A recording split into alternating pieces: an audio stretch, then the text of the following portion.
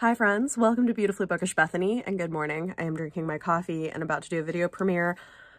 But today we are starting an in-depth reading vlog of Throne of Glass by Sarah J Maas for the Maas Effect read-along. I'll blame being not caffeinated enough just yet, but I didn't say this is a full spoiler video, full spoilers for Throne of Glass, some spoilers, light spoilers for other series, and uh, a recap video, so enjoy.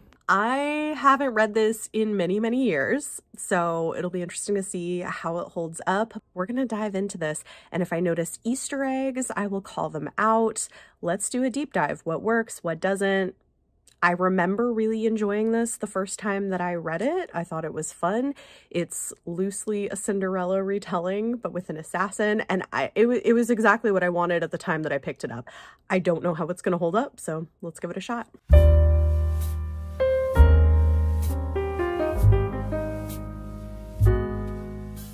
So I have read the first two chapters and I've decided because of the kind of video I'm doing that I'm actually tabbing and like writing in Throne of Glass. I don't know that I'm going to do this for all of the books, but I think it'll be interesting to have and it's kind of a fun project. I don't do this with very many of my books, but we're doing it for this one. So let's talk about the first two chapters.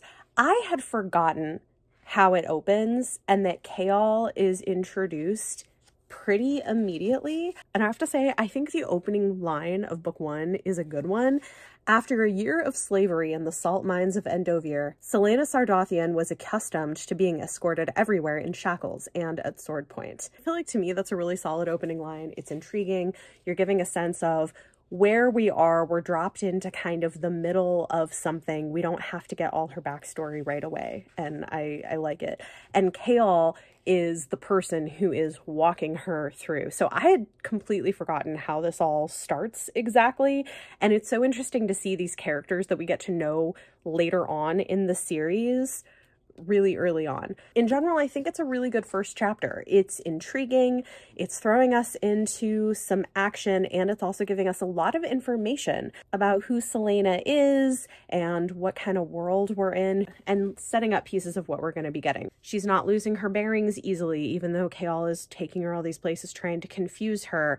So we know she has this, some kind of a set of skills that are interesting. We do have some descriptions that feel very early 2000s, and that I think is interesting. It's said that beneath the dirt she is frightfully pale and had been attractive once, beautiful even. And so I think that's interesting that like, oh, she's terribly pale because she hasn't been out in the sun.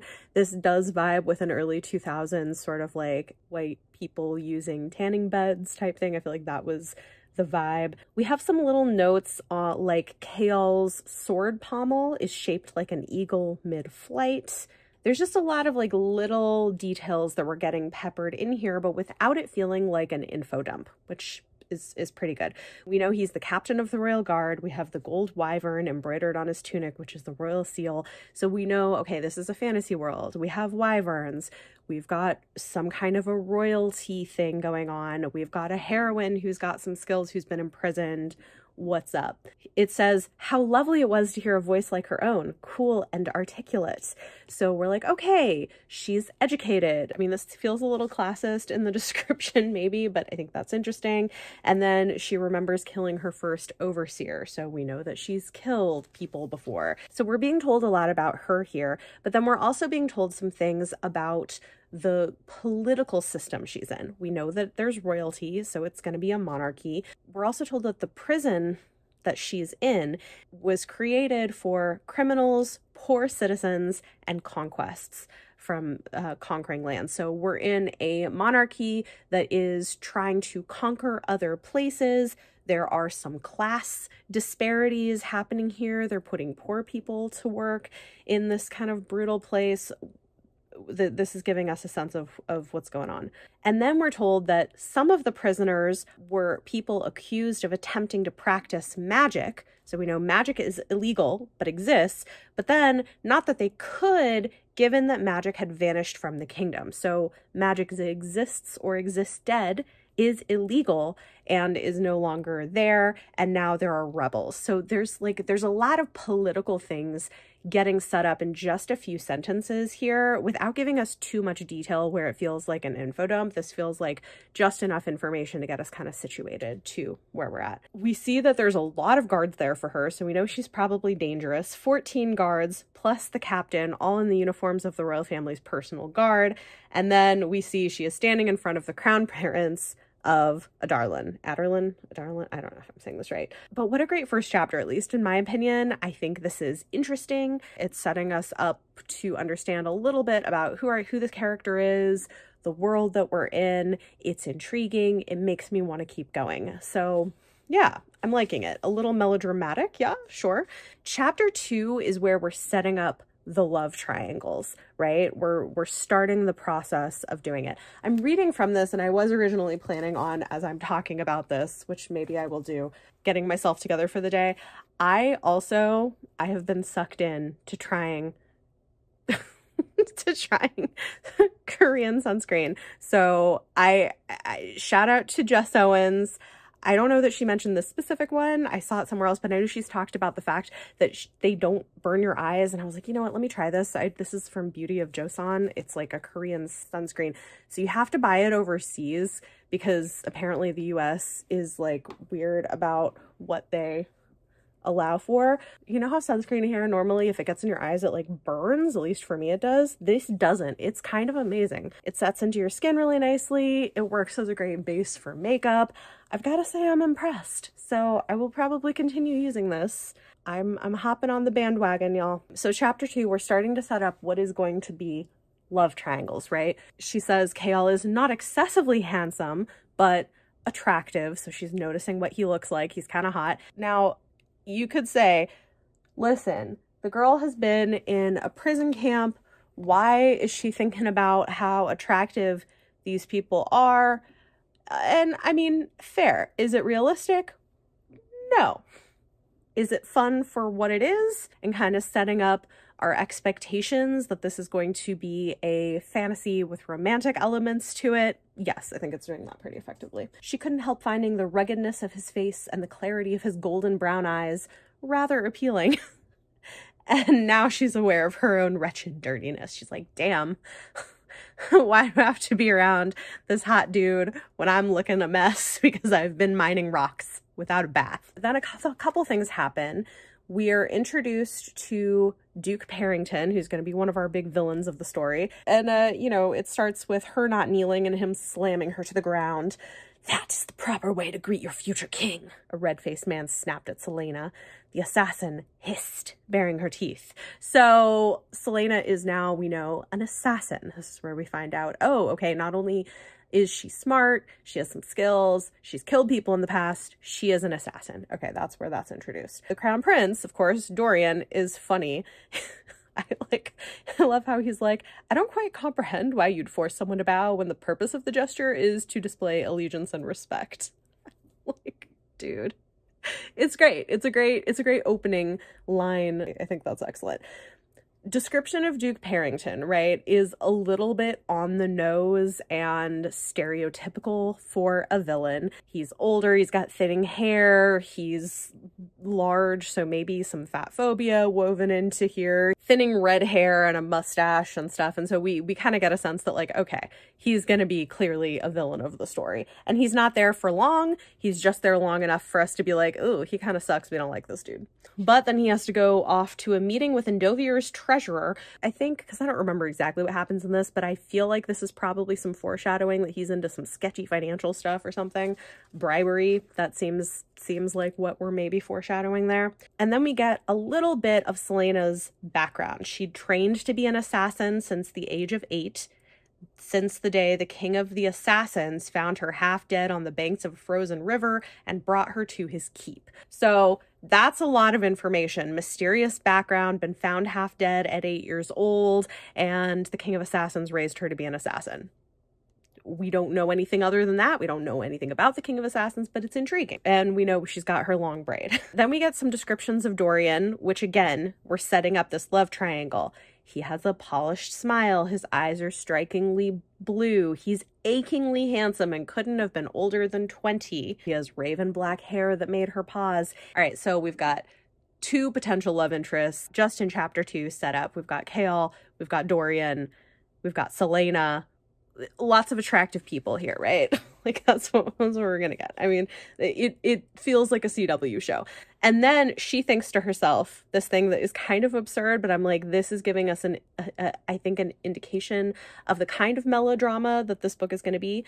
Princes are not supposed to be handsome. They're sniveling, stupid, repulsive creatures. This one, this, ugh, how unfair of him to be royal and beautiful. like, is it kind of silly? A hundred percent. But again, I can go with the over the top melodrama, and I think that's what we're getting here. And I, you know, I'm okay with it. Then one thing that I found really interesting is we get descriptions of Celaena herself.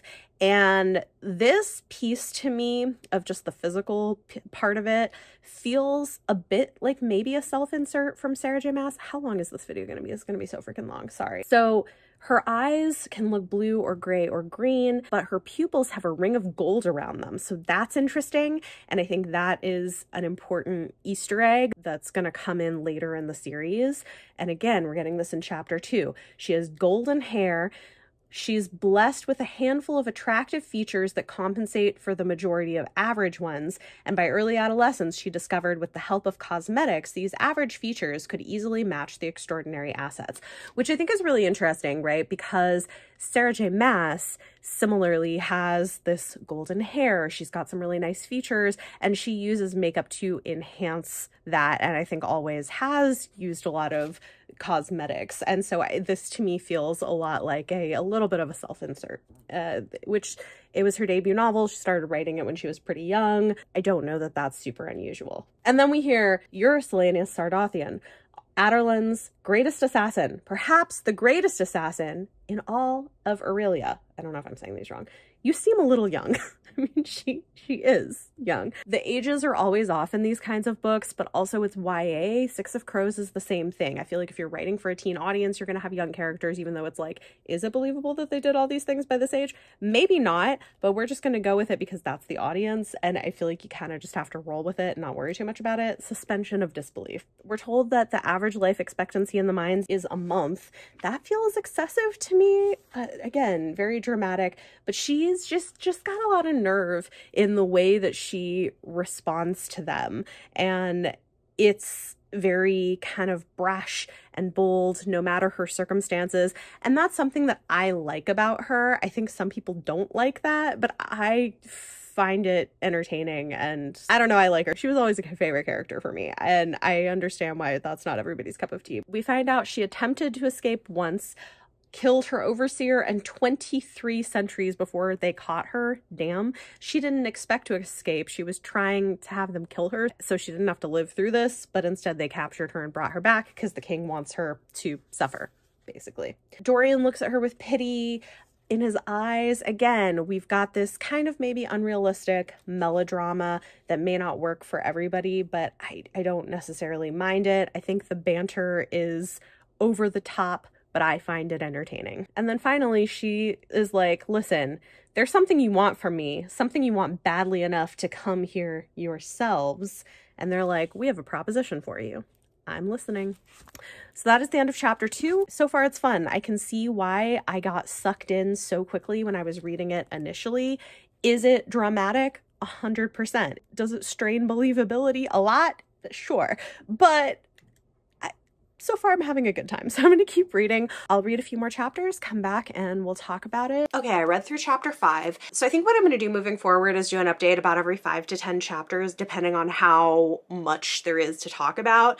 I will say there's a lot to cover in the first few chapters of the book, just because we're getting so much set up for the world. We're getting a lot of foreshadowing. Let's talk about it. Chapter three, we find out a little bit about what it is that they're there for. Dorian wants Celaena to compete to be his father's champion. And if she got the position, she would basically be like his assassin for however many years. It's clear that Dorian is hiding something. He's not telling us everything, but he does say that if she does this, she could get her freedom. Celaena ends up negotiating it down to four years. If she wins and serves for four years as the champion, for both Dorian and his father, then she'll be freed. And of course, she's going to take this offer. We do get a moment at the beginning of chapter three where the prince's eyes linger a bit too long on her body, and Celaena is like, I could rake my nails down his face. But also the fact that he even bothered to look at her when she was in, still in such a filthy state.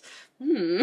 So, I mean, like a little creepy, but uh, okay, we're gonna go with it. Again, we're, we're setting up the romantic potential subplots here. We're told that she'll be training in the Glass Castle, which we're gonna find out more about. We don't really know what that is yet, but she'd be given the title of Adarlan's assassin and get a salary. One thing that's interesting here is we find out that almost nobody knows who she actually is because nobody knew that Celaena Sardothien was a young woman. They all thought she was much older and they decided to keep it that way. What would our enemies say if they knew we'd all been petrified of a girl? So it's very like girl power vibes type thing. I mean, I think this fits for this era of feminism, girl power feminism. That's definitely what we're fitting into here. There is a line that I thought was kind of silly. You kept your identity a secret all the years you were running around killing everyone. You know, just as one does, running around killing everyone. everyone. I understand the criticism here where people say that there's a lot of telling rather than showing how great of an assassin Celaena is.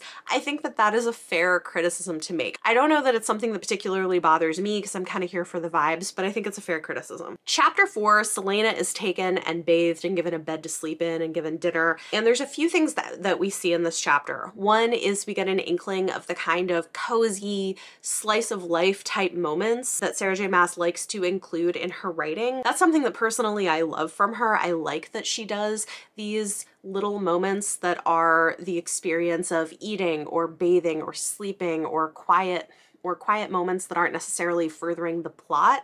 That is something I really enjoy from her. I know not everybody feels that way, but what we're also seeing is the physical ramifications of all this time in the mine. She has scars, she has open wounds, she's been somewhat starved and so she's very thin. Her breasts once well formed, they were now no larger than they'd been in the midst of puberty. so a little bit dramatic, but we see that she's having trouble even keeping richer food down because of what her diet had been.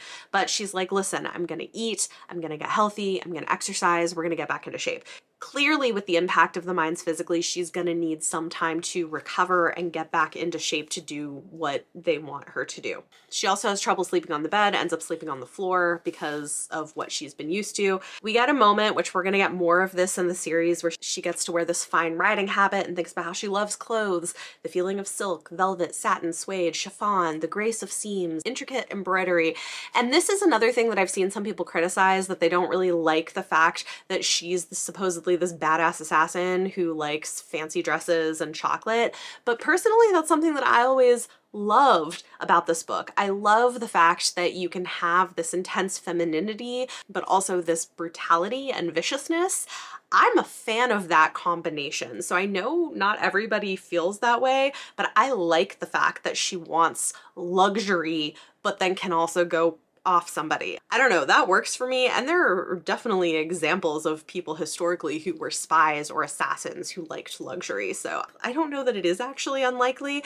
I feel like this, especially for the time period, was one of few books that was kind of pushing back on this idea that in order to be this badass girl, you also had to not be feminine.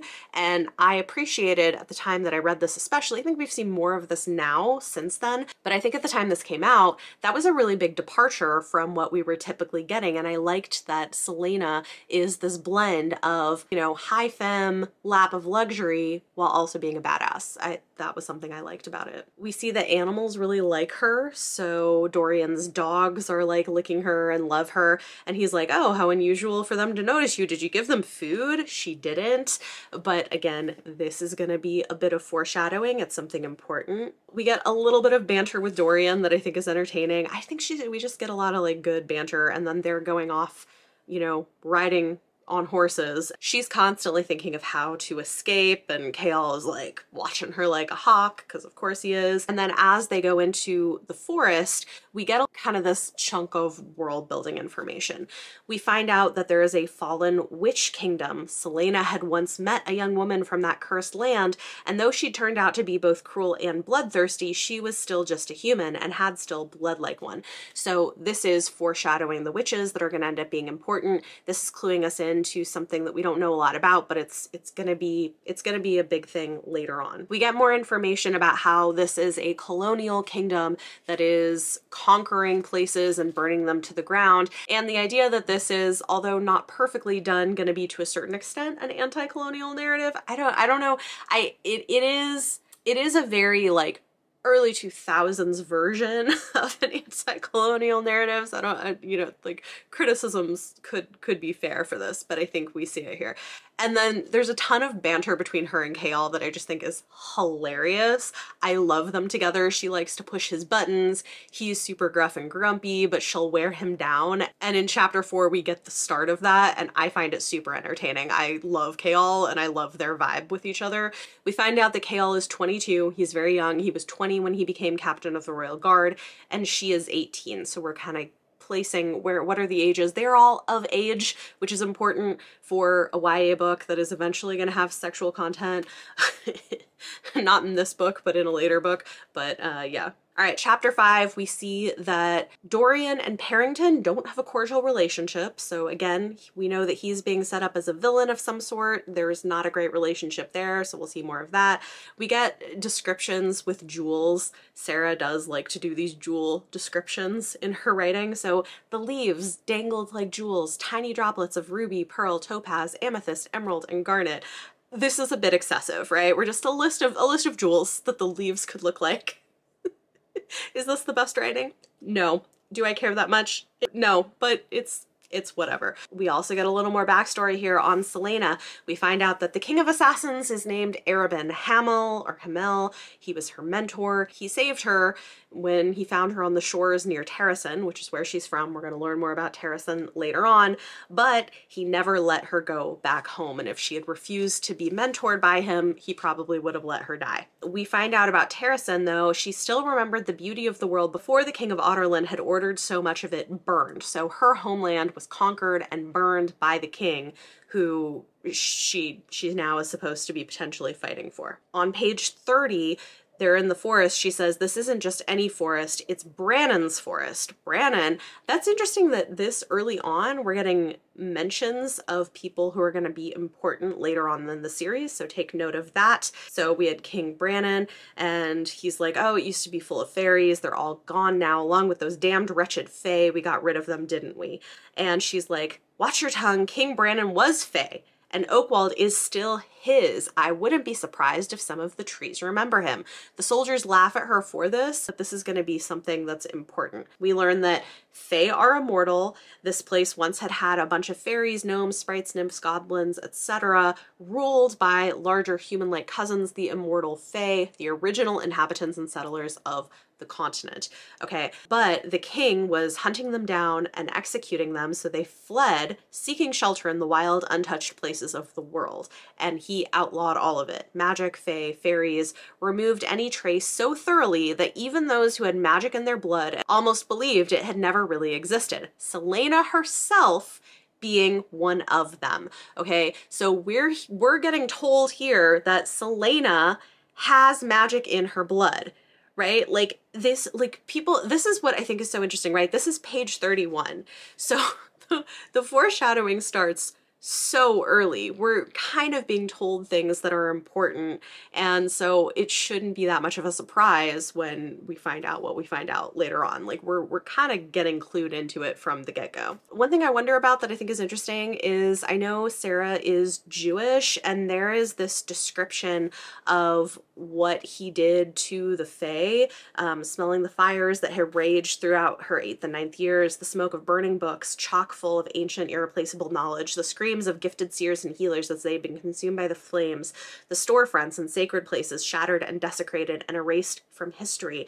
I wonder if this is inspired by Kristallnacht because it sounds very similar, and I wouldn't be surprised if she's drawing on some of her own family history with that to talk about the way that the Fae were being treated and kind of stamped out. I think there's definitely some kind of a connection there between Jewish history and what she's writing here, which is interesting. Last thing for that chapter is when she wakes up in the forest, small white flowers lay at the foot of her cot and many infant-sized footprints led in and out of the tent, and she destroys the tracks before anyone could notice. So some of the small fairies that are still hiding in that forest know her something's up there. There's something important about her. We don't know her true identity, but like we're five chapters in and that's a lot. so yeah, I will be back once I've read the next five or so chapters and we'll check in. It's the next day and I've gotten through the next five chapters. Because I'm doing so much writing in the book as I'm going, I'm listening to other books in between just because it's really time consuming. I had an event last night, which was fun, but let's talk about chapters six through 10. One thing that I'll say is that it's fast paced, it's very easy to read and get into, and she's doing a ton of foreshadowing and setting pieces for a mystery in place. I didn't realize, because I've never done a reread of it, how much she does that. From the beginning, there are so many little clues and Easter eggs and references to things that will make sense later on. So, chapter six, after traveling for a couple weeks, she's now apparently feeling better. I guess traveling for two weeks was enough for her to heal and eat food to not be starving. Okay. But they arrive to Rifthold and the glass castle, which is are these like crystalline towers and bridges and chambers and turrets and etc. And I think what's interesting is that we learn later it's this glass addition that's been built on top of an old stone castle and it creeps Celaena out. She says it's because of the glass that it seems like it could all come tumbling down and there's a moment where later on where she's talking to Chaol and he's like it's as strong as like stone or metal. She's like yeah till something heavier comes and crashes it all down. So again moments of like her being aware of something that that may not happen for a long time but will. I think she also says it looks greenish Oh yeah, it says the illuminated castle rose from the sleeping city like a mound of ice and steam. There was something greenish about it, and it seemed to pulse. There's also a time later on when she meets the king that there's this creepy fireplace, and the fire also seems greenish. So we are seeing these things that there's something off. There's something not quite right here. We find out she'd first seen the glass castle eight years ago, so when she was 10 years old all dressed up. She had already been an assassin at this point. It says she killed a man three days earlier. So from pretty early on, she was getting pulled into this life. And we find out that she thinks one of her own betrayed her. I never trusted most of them, and I knew they hated me. She had her suspicions, of course, and the one that seemed most likely was a truth she wasn't yet ready to face. Not now, not ever. Again, we're foreshadowing something about the person who betrayed her. That is information that's going to come out later, but we're getting hints at it. And she continuously does this. There's also a line on page 37. It says, She didn't wish to reign over the city again. Magic was dead. The Fae were banished or executed, and she would never again have anything to do with the rise and fall of kingdoms. She wasn't fated for anything not anymore. So clearly she is and was fated for something. Again, clues that she's more than she seems. There's some kind of a background going in. Chapter 7, we're coming into Rifthold. We find out that it is a port city. It is along the ocean. Dorian is clearly a playboy. He's like moves from lover to lover and all the women are into him. That's a thing that we continuously see. There are occasionally descriptions in Sarah's writing that I'm like, what? what does that mean? So like one example is it talks about uh, window displays, lines of sparkling jewelry and broad-rimmed hats clumped together like bouquets of flowers. I'm like, what does that mean? Why would you clump hats and jewelry together like flowers? I, I don't know. Sometimes she has these weird descriptive things that I'm like, mm, okay. We see that there's enslavement that's been happening, prisoners of war, criminals, etc., and they're doing a lot of free labor. We hear briefly that she had done something nearly two years ago, freeing almost 200 slaves from the pirate lord. Again, some history that we'll see more about later on, but we see what her intentions are. I will say, so far in this book, I am seeing a little bit of, and to be fair, a lot of books were doing this at the time, but a little bit of this kind of not like other girls thing. Seeing a lot of other women as being kind of petty and catty and stuff like that. And I think it's interesting to contrast that with what Sarah is writing now, where there's a lot more deep female friendships in the lives of characters. I I just I think it's interesting. The Royal Guard's armor is tarnished, which is a, an interesting fact. And one thing that we consistently see is Celaena is constantly planning. She's constantly trying to figure out escape routes, constantly thinking about how she could kill people if she needed to get out. It's like her brain is always doing that. We have another moment of foreshadowing. She makes it to her chambers where she's going to be staying, and it says something about the dimensions seemed a little off, something with the height of the walls, but she couldn't be sure like put a pin in that because that's going to end up being important. She's not wrong. Her senses are always picking up on stuff that she may not consciously be aware of. We get a lot of clothing descriptions happening in these chapters and I really love them. I know some people are not a fan, but I love the descriptions of all these beautiful, luscious dresses and things. I think it's fun. We find out more about Dorian and his family. Sometimes Dorian forgot how little he looked like his father. It was his younger brother Hollin who took after the king with his broad frame and his round, sharp-eyed face. But Dorian, tall, toned, and elegant, bore no resemblance to him. And then there was the matter of Dorian's sapphire eyes. Not even his mother had his eyes. No one knew where they came from. Again, this is going to be important. We have constantly foreshadowing moments of giving us clues and hints at things to come. And I didn't realize how much of it there was. There's so much of it. It's wild. We see Dorian interacting with his father. Dorian pushes back on stuff. His dad is like, don't get anyone pregnant until you've married somebody powerful and had some grandkids, then do what you want. Dorian says, When I'm king, I won't declare control over Terrasen through thin claims of inheritance. So clearly he disagrees with some of the political moves of his father. The king also tells him to stay away from Celaena, Though she may look pleasant, she's still a witch. You are to keep your distance, understood? Which of course we know Dorian's not going to. Chapter 8, we hear a little bit more about Hollin, the 10-year-old younger brother prince. He sounds like he's probably psychotic, so we should be concerned. Chaol is taking Celaena on a tour of the castle, and she sees the clock tower, which makes an awful noise. This is also important foreshadowing information. From the garden sprouted a tower made of inky black stone, two gargoyles, wings spread for flight, perched on each side of the four clock faces, soundlessly roaring at those beneath. What a horrible thing, she whispered. Chaol admits he wouldn't go near it as a child, and she says, You'd see something like this before the gates of Wyrd, not in a garden. How old is it? The king had it built around Dorian's birth. Okay, so again, this is going to be important. We don't know yet what the gates of Wyrd are. We don't know what the deal with this clock tower is, but th there's something significant here, and the king was involved in having it built when Dorian was born. There's also this symbol that's like a circle with a line, a hooked line through the middle of it, and the gargoyle seems to be pointing at it, and it sounds like there's probably other symbols. We're introducing mystery and the sense that something's not quite right here, something's up, we have things that need to be unpacked. For me, this is really effective even as a first time reader because it's drawing you into the story. There's a lot of threads that you're like, what's going on? I'm curious to read on and find out more. We get the classic Beauty and the Beast style giant library, which I always I always love as a bookworm. I'm, I'm always a fan of that. And Celaena, of course, loves reading because of course she does. Why not? There's this part there's this part that's interesting because I think it's indicative of who Celaena used to be and the fact that she wasn't she wasn't a peasant basically. Chaol says, Oh, you said you're from Terrasen. Did you ever visit the Great Library of Orynth? They said it's twice the size of this.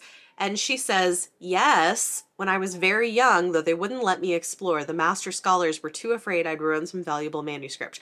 Like, clearly she wasn't just a nobody if she's visiting the Great Library of Terrasen and talking to the master scholars, right? We get this really cute moment of her writing to ask Dorian for some books, and he's like, yeah, here's seven books that I read and loved. Tell me what you think of them. I love the book sharing. It's cute. Then we're introduced to Lady Kaltain, and we don't get her name until later, but Celaena sees her and her ladies in the courtyard and overhears them. We hear through a conversation that Duke Perrington is courting her, even though he's much, much older and she's clearly not interested. Again, this is going to be important. Her and the other girls that are with her seem kind of silly and petty, so again, it's kind of setting her up as different. She's also pissed because she's heard about Celaena and she's like, the princess harlot won't be well received. But then there's a moment that I think is an important detail for later on that again is giving us an indication that something is off and it's foreshadowing something to come, where she says, I need my pipe. I feel a headache coming on. Note that because there's something to do with that that's going to be important. We have some moments that Celaena's a little bit whiny. I can see why it might annoy people. I'm kind of whatever about it, but I get it. And then she finally meets the king sees all of her fellow competitors, and we find out this is going to be a gamified challenge. Over the next 13 weeks, they're going to live in the castle, they're going to train every day, be tested once a week, and each week there will be a test that will eliminate one person until the week after Yulemas, the four remaining champions will face each other in a duel to win the title. And the king is going to be gone until Yulemas. So he will not be overseeing it. We don't know where he's going or what it is that he's doing, but he's going to be gone for three months, I guess. That's kind of long. And if it wasn't clear that the king is the villain, we have Celaena saying, murderer. He should be hanging from the gallows. He had killed many more than she, people undeserving and defenseless. He destroyed cultures, destroyed invaluable knowledge, destroyed so much of what had once been bright and good. His people should revolt. Erilea should revolt. Throughout this, I think the banter with Chaol and Dorian is fun. We have a moment where Chaol tells her she looks pretty. It's cute. I'm enjoying it. After she officially meets Lady Kaltain, who is very catty about everything, she tells Chaol, I hate women like that. They're so desperate for the attention of men, they'd willingly betray and harm members of their own sex. And I mean, like, I think that's a fair concern, but also she needs some girlfriends. Like, I I don't love the sort of not like other girls thing, even though I know it was common at the time. So that is where we're at. I'm going to go read the next five or 10 chapters and then check back in. This is going to be a freaking long video. Okay, I read the next 10 chapters. We're going to go through it chapter by chapter a little bit more quickly than before, but I'll say that in general, I'm kind of flying through it. I'm having fun with it. Okay, so chapter 11, Celaena stayed up till four o'clock reading the night before her first thing, which was kind of dumb, but I, I, I've been there. One thing that I think is important is that we find out the name of Knox, who is one of her competitors. He's the slightly handsome young man with gray eyes. We find out more about him later, but he seems to be the only one who sees Celaena for who she is to a certain extent, or like recognizes her as actual competition, and at one point says he thinks that she'll win the whole thing. So he, I think, is an interesting character. We meet all of the other competitors. One of them is super creepy, Cain. He's really big. He gives creep vibes and he is definitely a front runner and that's going to be important as we go through. We get a lot of Celaena and Chaol's banter back and forth and I think it's really entertaining. I kind of enjoy their dynamic. Like for instance, you don't need me to rescue you. It still would have been nice. You can fight your own battles. I don't think he's not wrong. I think it's funny. So we get to see Celaena being good at using weapons in that chapter. Not a lot happens though. Chapter 12, we are introduced to the weapons master, Theodos? Theodos? Theodos. I think Theodos Brullo. So Brullo is the weapons master and the judge of the competition, and he's the one who's going to be overseeing them. We find out that Cain, the creepy competitor guy, is originally from the White Fang Mountains, and that is another place that has been overtaken by Adarlan. So many of them had rebelled against Adarlan, most wound up dead, what would his fellow mountain dwellers say if they could see him now? She gritted her teeth. What would the people of Terrasen say if they could see her now? So we have a lot of people from conquered countries who are here and there's clearly some like mixed feelings there's a lot of a lot of stuff going on we're meeting all of the different com competitors that she has she kind of looks down on all the other assassins she's like they're not even in the assassins guild Arobynn Hamel would not even let them in.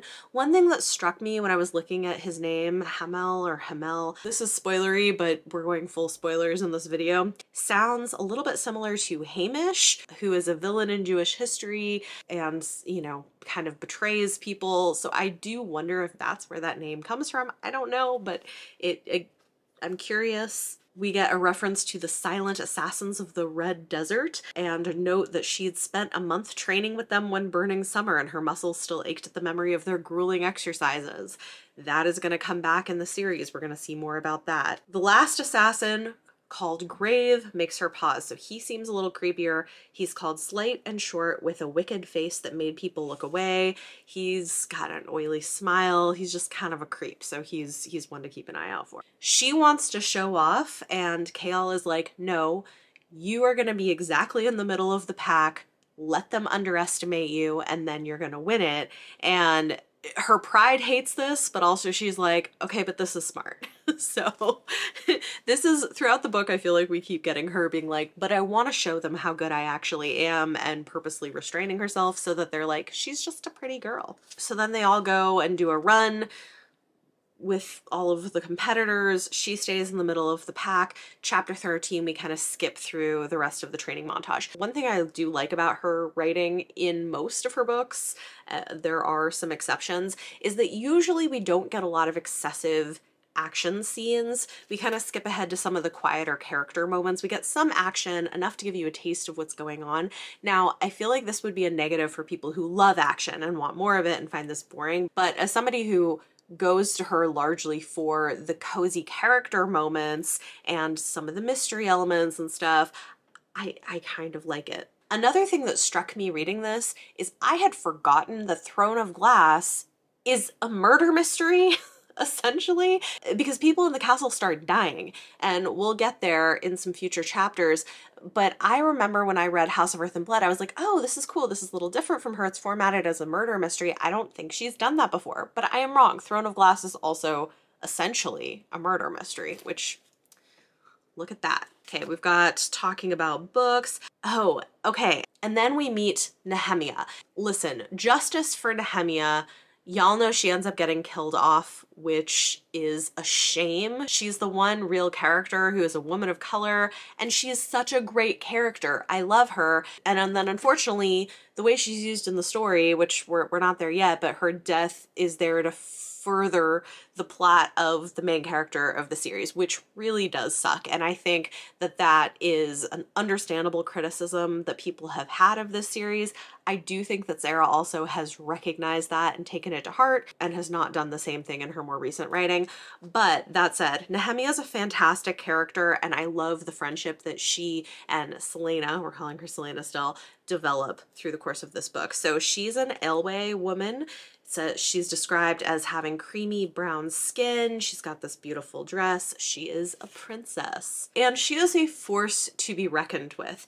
It says that Celaena knew the name because she'd heard Eyllwe slaves in Endovier boast of Nehemia's beauty and bravery, the light of Eyllwe who would save them from their plight, Nehemia who might someday pose a threat to the king of Adarlan's rule over her home country when she ascended the throne. Nehemia, they whispered, who smuggled information and supplies to the rebel groups hiding in Eyllwe. She reminds me a little bit of like a Princess Leia type character. I wish that they had, that she hadn't, I really wish she hadn't gotten killed off because she's such a good character. They could have done Sarah could have done so much more with her in the series if that hadn't been the direction. But it is fun to see her meet Celaena, see them kind of hit it off because Celaena can speak her language and it's the most entertaining thing. Kaltain, of course, is pissed that she can't understand what they're saying. She's such a brat.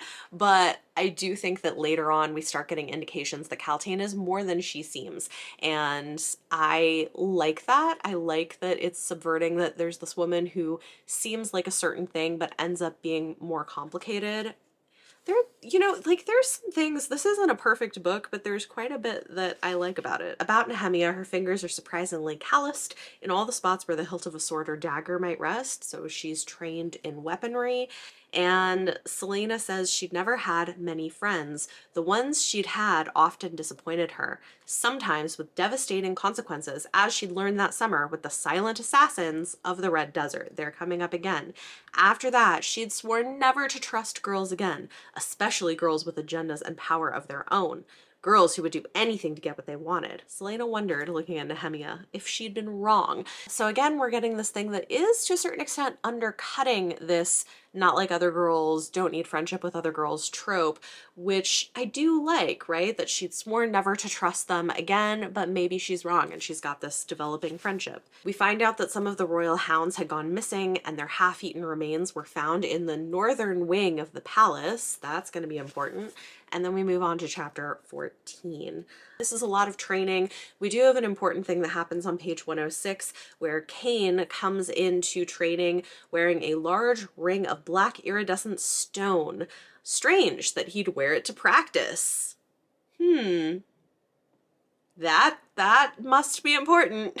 It's going to be important later on, right? So that this is where we start to get that piece introduced is around 100 pages in and then we find out that Bill Chastain, the eye eater, who is one of the competitors, was found dead this morning. His innards had been taken out, his brain was missing, it was pretty gruesome, and he had been killed in the castle. So again, we're starting to get this murder mystery element of the plot. Celaena and Knox start to develop somewhat of a friendship that I think could lead to maybe a partnership. She seems to like him. She shows him how to throw a dagger correctly. And he is from the same country she is from, Perranth, which is Terrasen's second largest city. And so even though she's lying about who she is and where she's from for the sake of the tournament, I think she has soft feelings towards him because they're from the same country.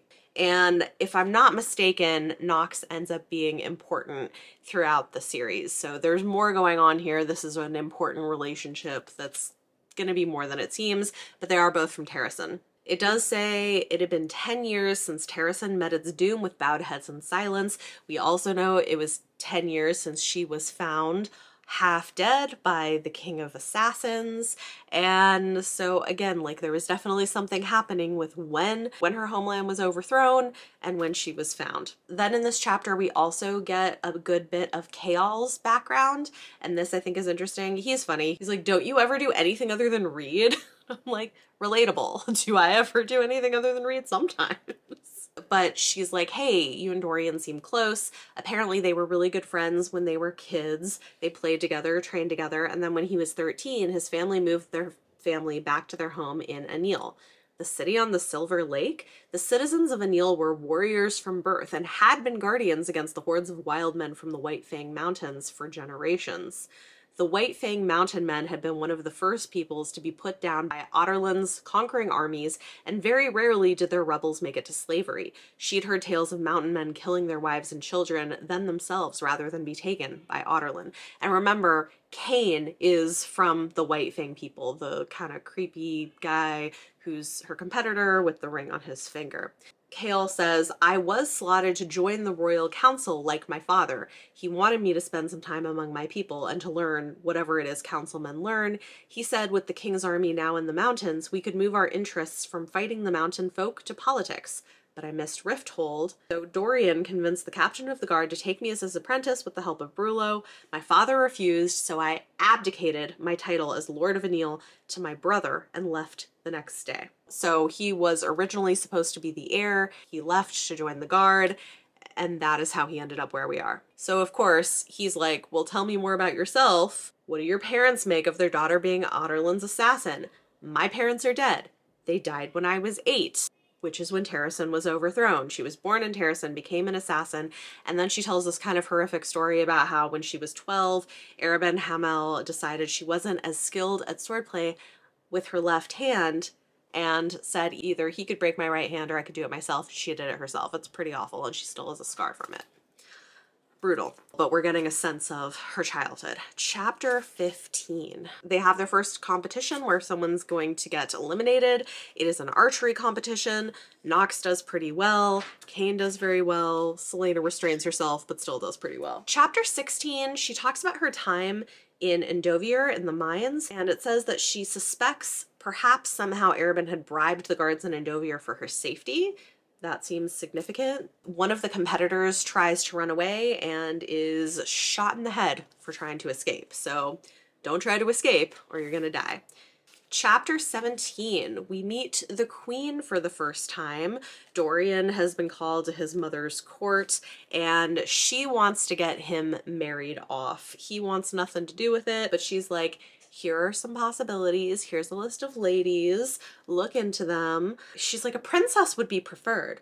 There are no princesses left, except for the Princess Nehemia.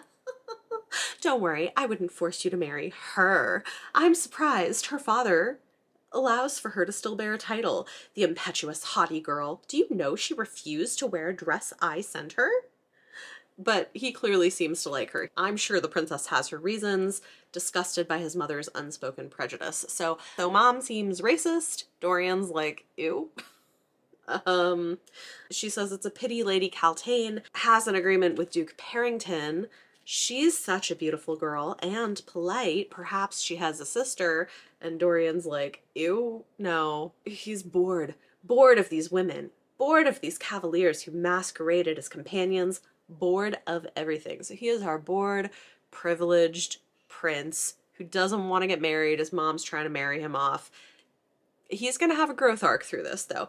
And she mentions Rosamond, he, who broke his heart, and he's still sulking over her, so he must have fallen in love with someone. And then she left him for a boorish husband. It's very interesting. Love this because Dorian happens upon Celaena sparring with Nehemia and freaks out. He's like, she can't be sparring. And he's like, well, I'll, I'll teach her swordplay. You know, she already knows swordplay, but he's like, yeah, I'll, I'll do it. Chapter 18, we find out about the existence of Sam, Celaena's first love, who apparently died right before she ended up in Endovier. This is again going to be a critical, important thing. Assassin she'd grew up with, childhood best friend, lover, etc. Chaol shows up and is freaking out, freaks out that Nehemia is sparring with Dorian, gets them all out of there. Chapter 19, we are back with Kaltain, and this is where we learn that there is more to her than meets the eye. Something's up with her. She's got some things planned. So Perrington is super creepy with her, but it says she convinced him to invite her to court, mostly by implying what might await him once she was out of her father's household, and without a chaperone, it hadn't be difficult. So she's plotting. She's more than she seems. He didn't hide he wanted her, but he hadn't pushed her into bed yet but he man like him always got what he wanted. So she's manipulated Perrington to get her into court. It seems that she is plotting to end up married to Dorian. This is going to be an important plot point later. Then she starts causing trouble, implying that Lady Lillian, which is what the name that Celaena is going by, uh, her pseudonym, has some kind of a thing developing with the prince that maybe he's in love with her and Perrington freaks out indicating that that's impossible and he doesn't like her which makes Kaltain think what's the deal why does he dislike her so much this is going to cause problems. Lastly, chapter 20, we find out that Celaena is an amazing piano player because of course she is. She's sad about Sam. He, like her, had been betrayed. Sometimes the absence of him hit her so hard she forgot how to breathe. So she's missing him, playing music. Dorian comes in, hears her playing. They have a whole conversation. And she says, I think that you came to get me because you want adventure and you're bored. Which, I mean, she kind of pegged him right. Yeah, I mean, he's saying he's bored with all of this. He wants something more exciting. As someone who gave me the crown of a hero to read, which suggests a rather fanciful mind that yearns for adventure, I don't think you're an adventure, he muttered. Oh? The castle offers so much excitement that the presence of Adarlan's assassin is nothing unusual. But she's like, I'm already at your father's disposal. I won't become his son's jester, too. And he kind of blushes about it. He does ask, with the song that she had been playing, if she was thinking of a former lover. She's like, Yes. And he's like, Oh, he doesn't live in the castle, does he? And she's like, Good night. His name was Sam. What happened? He died. When? 13 months ago. Okay, that's where we're at. People are dying in the castle. We've got lots of political machinations and plotting going on, lots of characters, a love triangle, and uh, mis mysterious things. So I'll probably read another 10 chapters and then I will check back in and we'll talk about them. We have now made it through another 10 chapters. I'm more than halfway through the book and I'm ready to discuss. But before I get into the more chapter by chapter detail, overall thoughts on this is it's fun. There is a lot of foreshadowing. I'm enjoying the mystery. However, I can definitely see where people are coming from with some of the criticisms that I've seen leveled against this. So for instance, Celaena is sometimes kind of whiny, a little bit juvenile. It is also the case that while we are told that she is this amazing assassin, we don't really see her do amazing assassin things and the way that she reacts to people being jerks to her is a little bit juvenile. So I can see the criticism of that. If you're going into this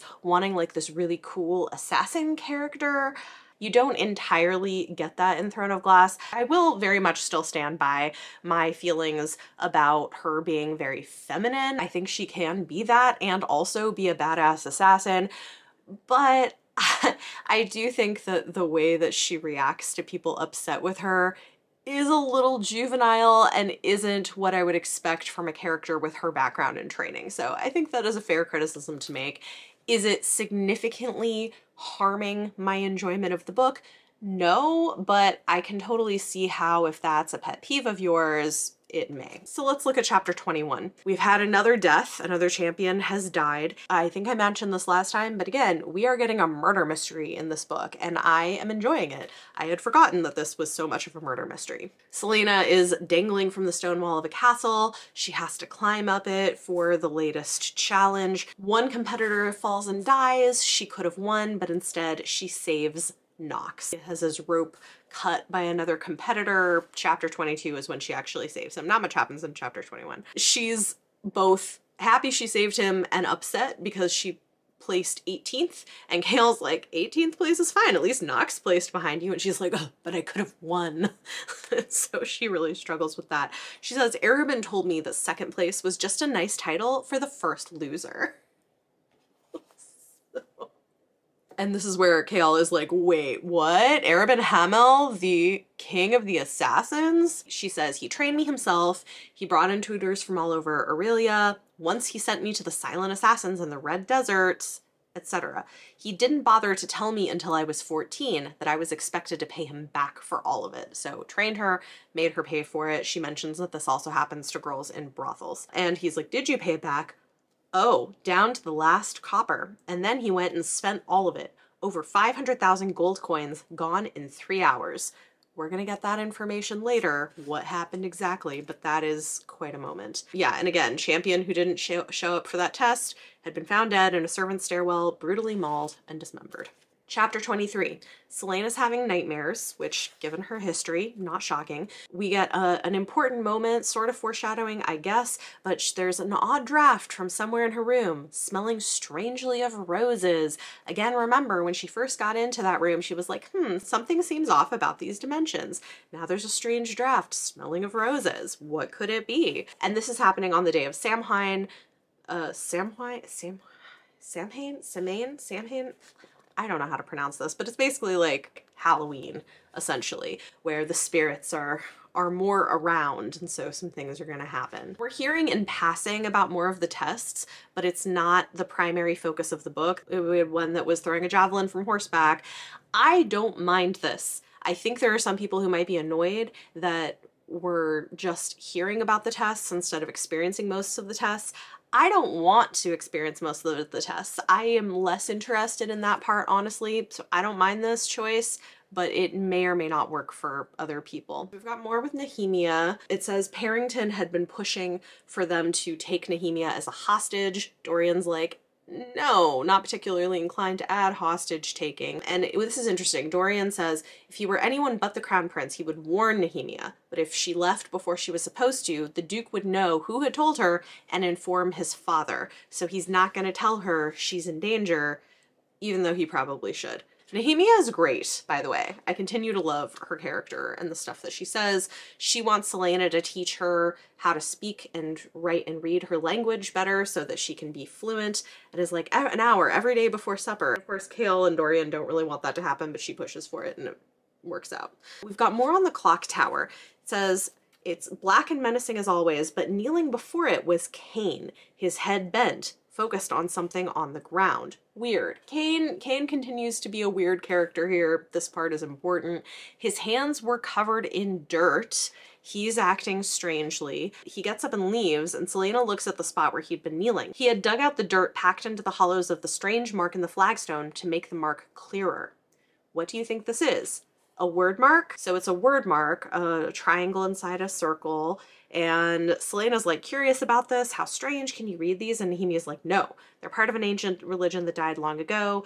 Nehemia says you should leave it alone. Things like this were forgotten for a reason. She's warning her, listen, leave it alone. It's not safe. Does Celaena pay attention? No, of course not. Then there's an interesting moment where Nehemia is staring at Celaena's forehead and seems to be seeing something that's not there. And she's like, you're hiding something. You are much more than you seem. What is it that she sees? Something chapter 24. This is where we finally find out what's up with her room and that rose-scented breeze that this is again the night of Halloween, essentially, ye fantasy Halloween. She's looking at the tapestry in her room of a woman who is beautiful with silver hair, a young face, and a flowing white gown, and then She's like, did the tapestry sway slightly? Hmm, could it be? Yes, of course, there is a secret door hidden behind the tapestry. I love a good hidden passage in a story like this. I think it's great. So she gets some yarn and chalk and candlesticks and goes to explore because of course she does. So she gets to this room where there's three doorways. One of them goes to the sewer system with some little boats tied. So this is probably a forgotten escape route for the king, which is interesting. But she decides not to try to escape. She goes back and there are two passages remaining. One of the passages blows wind with whispers beneath the breeze, and she decides, uh, following whispers on this night is only going to lead to trouble, and chooses the other path instead, which is a smart decision because based on things later, I'm wondering if she would have died if she had gone down the other passage but instead she follows the other passage. She goes to where she can hear sounds of great revelry, and of course, it's the feast in the Great Hall that she wasn't invited to, even though almost all of the other competitors were invited, so she's kind of pissed off about that. But notably, she doesn't see Cain there either, so note that he is not there at this time, she is not there at this time. Where is he? Maybe in the other tunnel. Hmm, question. That is something to be aware of. So then she sees Chaol leave the room and runs back to her chamber. Then Dorian comes there and there and she then finds her asleep. This I think was kind of like, mm, okay. So Chaol is jealous seeing Dorian in the doorway of Celaena's room and Chaol is fairly certain Celaena is a virgin, but did Dorian know it? It probably made him more interested, which I'm like, okay, we don't need to like be weird about virginity here, but okay. And then he gives Celaena a present. I guess there were these party favors, these rings that they were giving out giving out to the women of the nobility as favors, so he gets one and gives it to Celaena. It has a fingernail sized amethyst um, and she's like, thank you, and wears it. And this shows up again later. Chapter 25. Celaena has this very vivid dream where she smells mildew and roses in this passageway and goes down it, follows the rose scent whenever a door or arch appears until she gets to a set of stairs and an old wooden door with a bronze knocker formed like a skull. And inside the room, she finds a sarcophagus with a beautiful marble statue, trees carved into the ceiling, a second sarcophagus next to this woman depicting a man. Why was the woman's face bathed in moonlight and the man's in darkness? Hmm. The man holds a stone sword between his hands, its handle resting upon his chest, and a crown on his head. The woman is also wearing a crown with a slender peak and a blue gem embedded in the center. This is all important. Which queen were you? She sees a mark that looks like a diamond with two arrows piercing its side and a vertical line through its middle, a Wyrdmark that she had seen earlier. So everything's starting to tie together.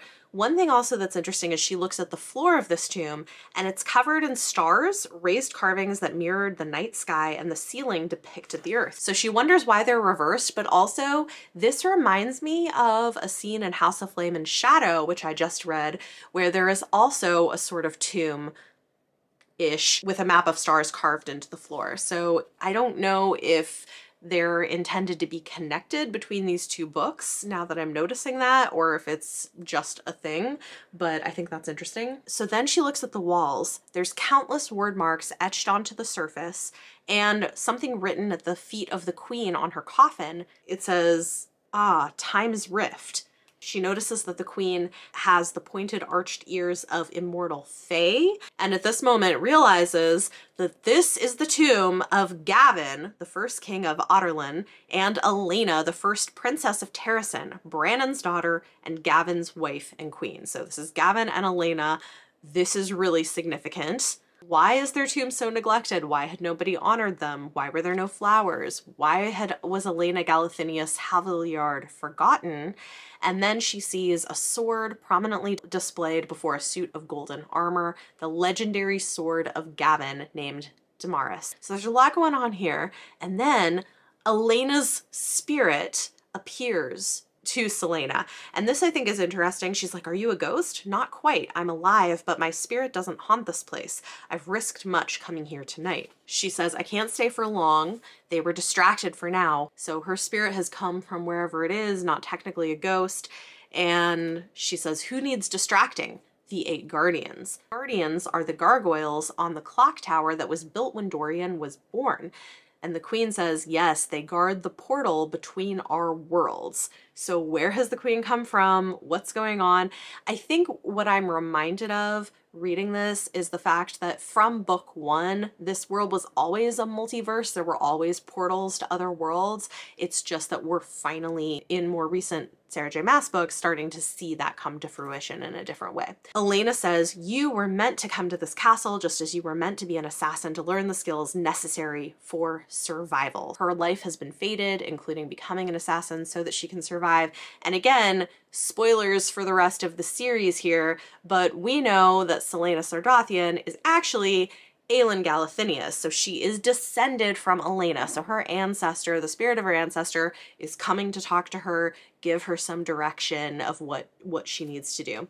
I'm editing and I want to clarify I don't think Aelin is actually a direct descendant of Elena, but she is a relation of hers, and I guess you could call her an ancestor. So, not in the direct line, but they are related. She says, Something evil dwells in this castle, something wicked enough to make the stars quake. Its malice echoes into all our worlds. There's Portal, there's like time rifts happening here, so questions about that. She says, You must stop it, destroy it before it is too late, before a portal is ripped open so wide there can be no undoing it. You understand the people's plight. You must win the competition and become the king's champion. Erilea needs you as the king's champion. Uh, then says, They can't catch you here. Wear this. And she pushes something cold and metallic into Celaena's hand. It will protect you from harm. You were led here tonight, but not by me. I was led here too.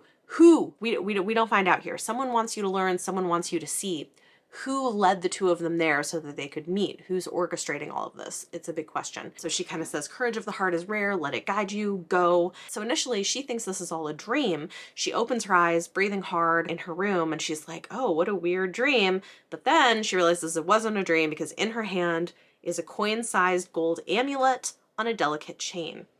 Made of intricate bands of metal, within the round border of the amulet lay two overlapping circles, one on top of the other, and in the space they shared was a small blue gem that gave the center of the amulet the appearance of an eye. A line ran through this entire thing, beautiful and strange. So she ends up wearing this. It's supposed to protect her. It was given from Elena. So she sh shuts that door and now realizes that the tapestry that had hung over it was a tapestry of Elena, again, we have that phantom breeze smelling of roses, and she goes to sleep. So, whew, a lot in chapter 25, right? Chapter 26, another champion has been found dead. The body was half eaten. She's like, maybe Cain did it. He's beastly enough to do such a thing. Meanwhile, Chaol is questioning where she was the night before, so maybe he suspects her. She decides to go back and revisit the tomb, kind of trying to figure out what's going on. And she wonders why there's so much light so far beneath the castle and realizes that there's a grate in the ceiling with a gold lined shaft coming down to reflect sunlight or moonlight. She doesn't find anything in the tomb to help her though. So Celaena is now kind of wanting to investigate what's up with these murders. She goes to see the thief. His chest cavity was split open, his organs were removed, and his face was stripped of its flesh. His brain was gone. There's smears of blood on the wall that looks like there had been writing that was rubbed away, and she sees three Wyrdmarks as well in a circle near the body. So clearly there's some kind of a ritual death thing happening. One thing that I think is a little sketchy is Grave comes and it says he sticks his gnarled fingers in the pockets of his worn and dirty pants. Didn't his sponsor bother to properly clothe him? And I like I feel like there's something weird about Grave. I don't rem I haven't read this recently enough to remember if there actually is, but I feel like that's it makes me wonder if he's not who she thinks he is. I don't know. Meanwhile, Chaol's like, any word from your father, Dorian? Where's the king? Where I wonder where he went off to. Where indeed? Well, if we've read further in the series, we know exactly where he has gone off. And Dorian's like, I haven't the slightest idea. I remember him leaving like this when we were children, but it hasn't happened for some years now. I bet he's doing something particularly nasty. He's not wrong. He's not wrong. Okay, chapter 27. We're back at the clock tower. Celaena's like, what is up with the clock tower? What's up with these guardians? Do they move? And again, is like trying to figure out the Wyrdmarks. Nehemia again is like, you shouldn't try to discover what they say. Nothing good will come of it. Again, Celaena's like, mm, I, I'm not listening.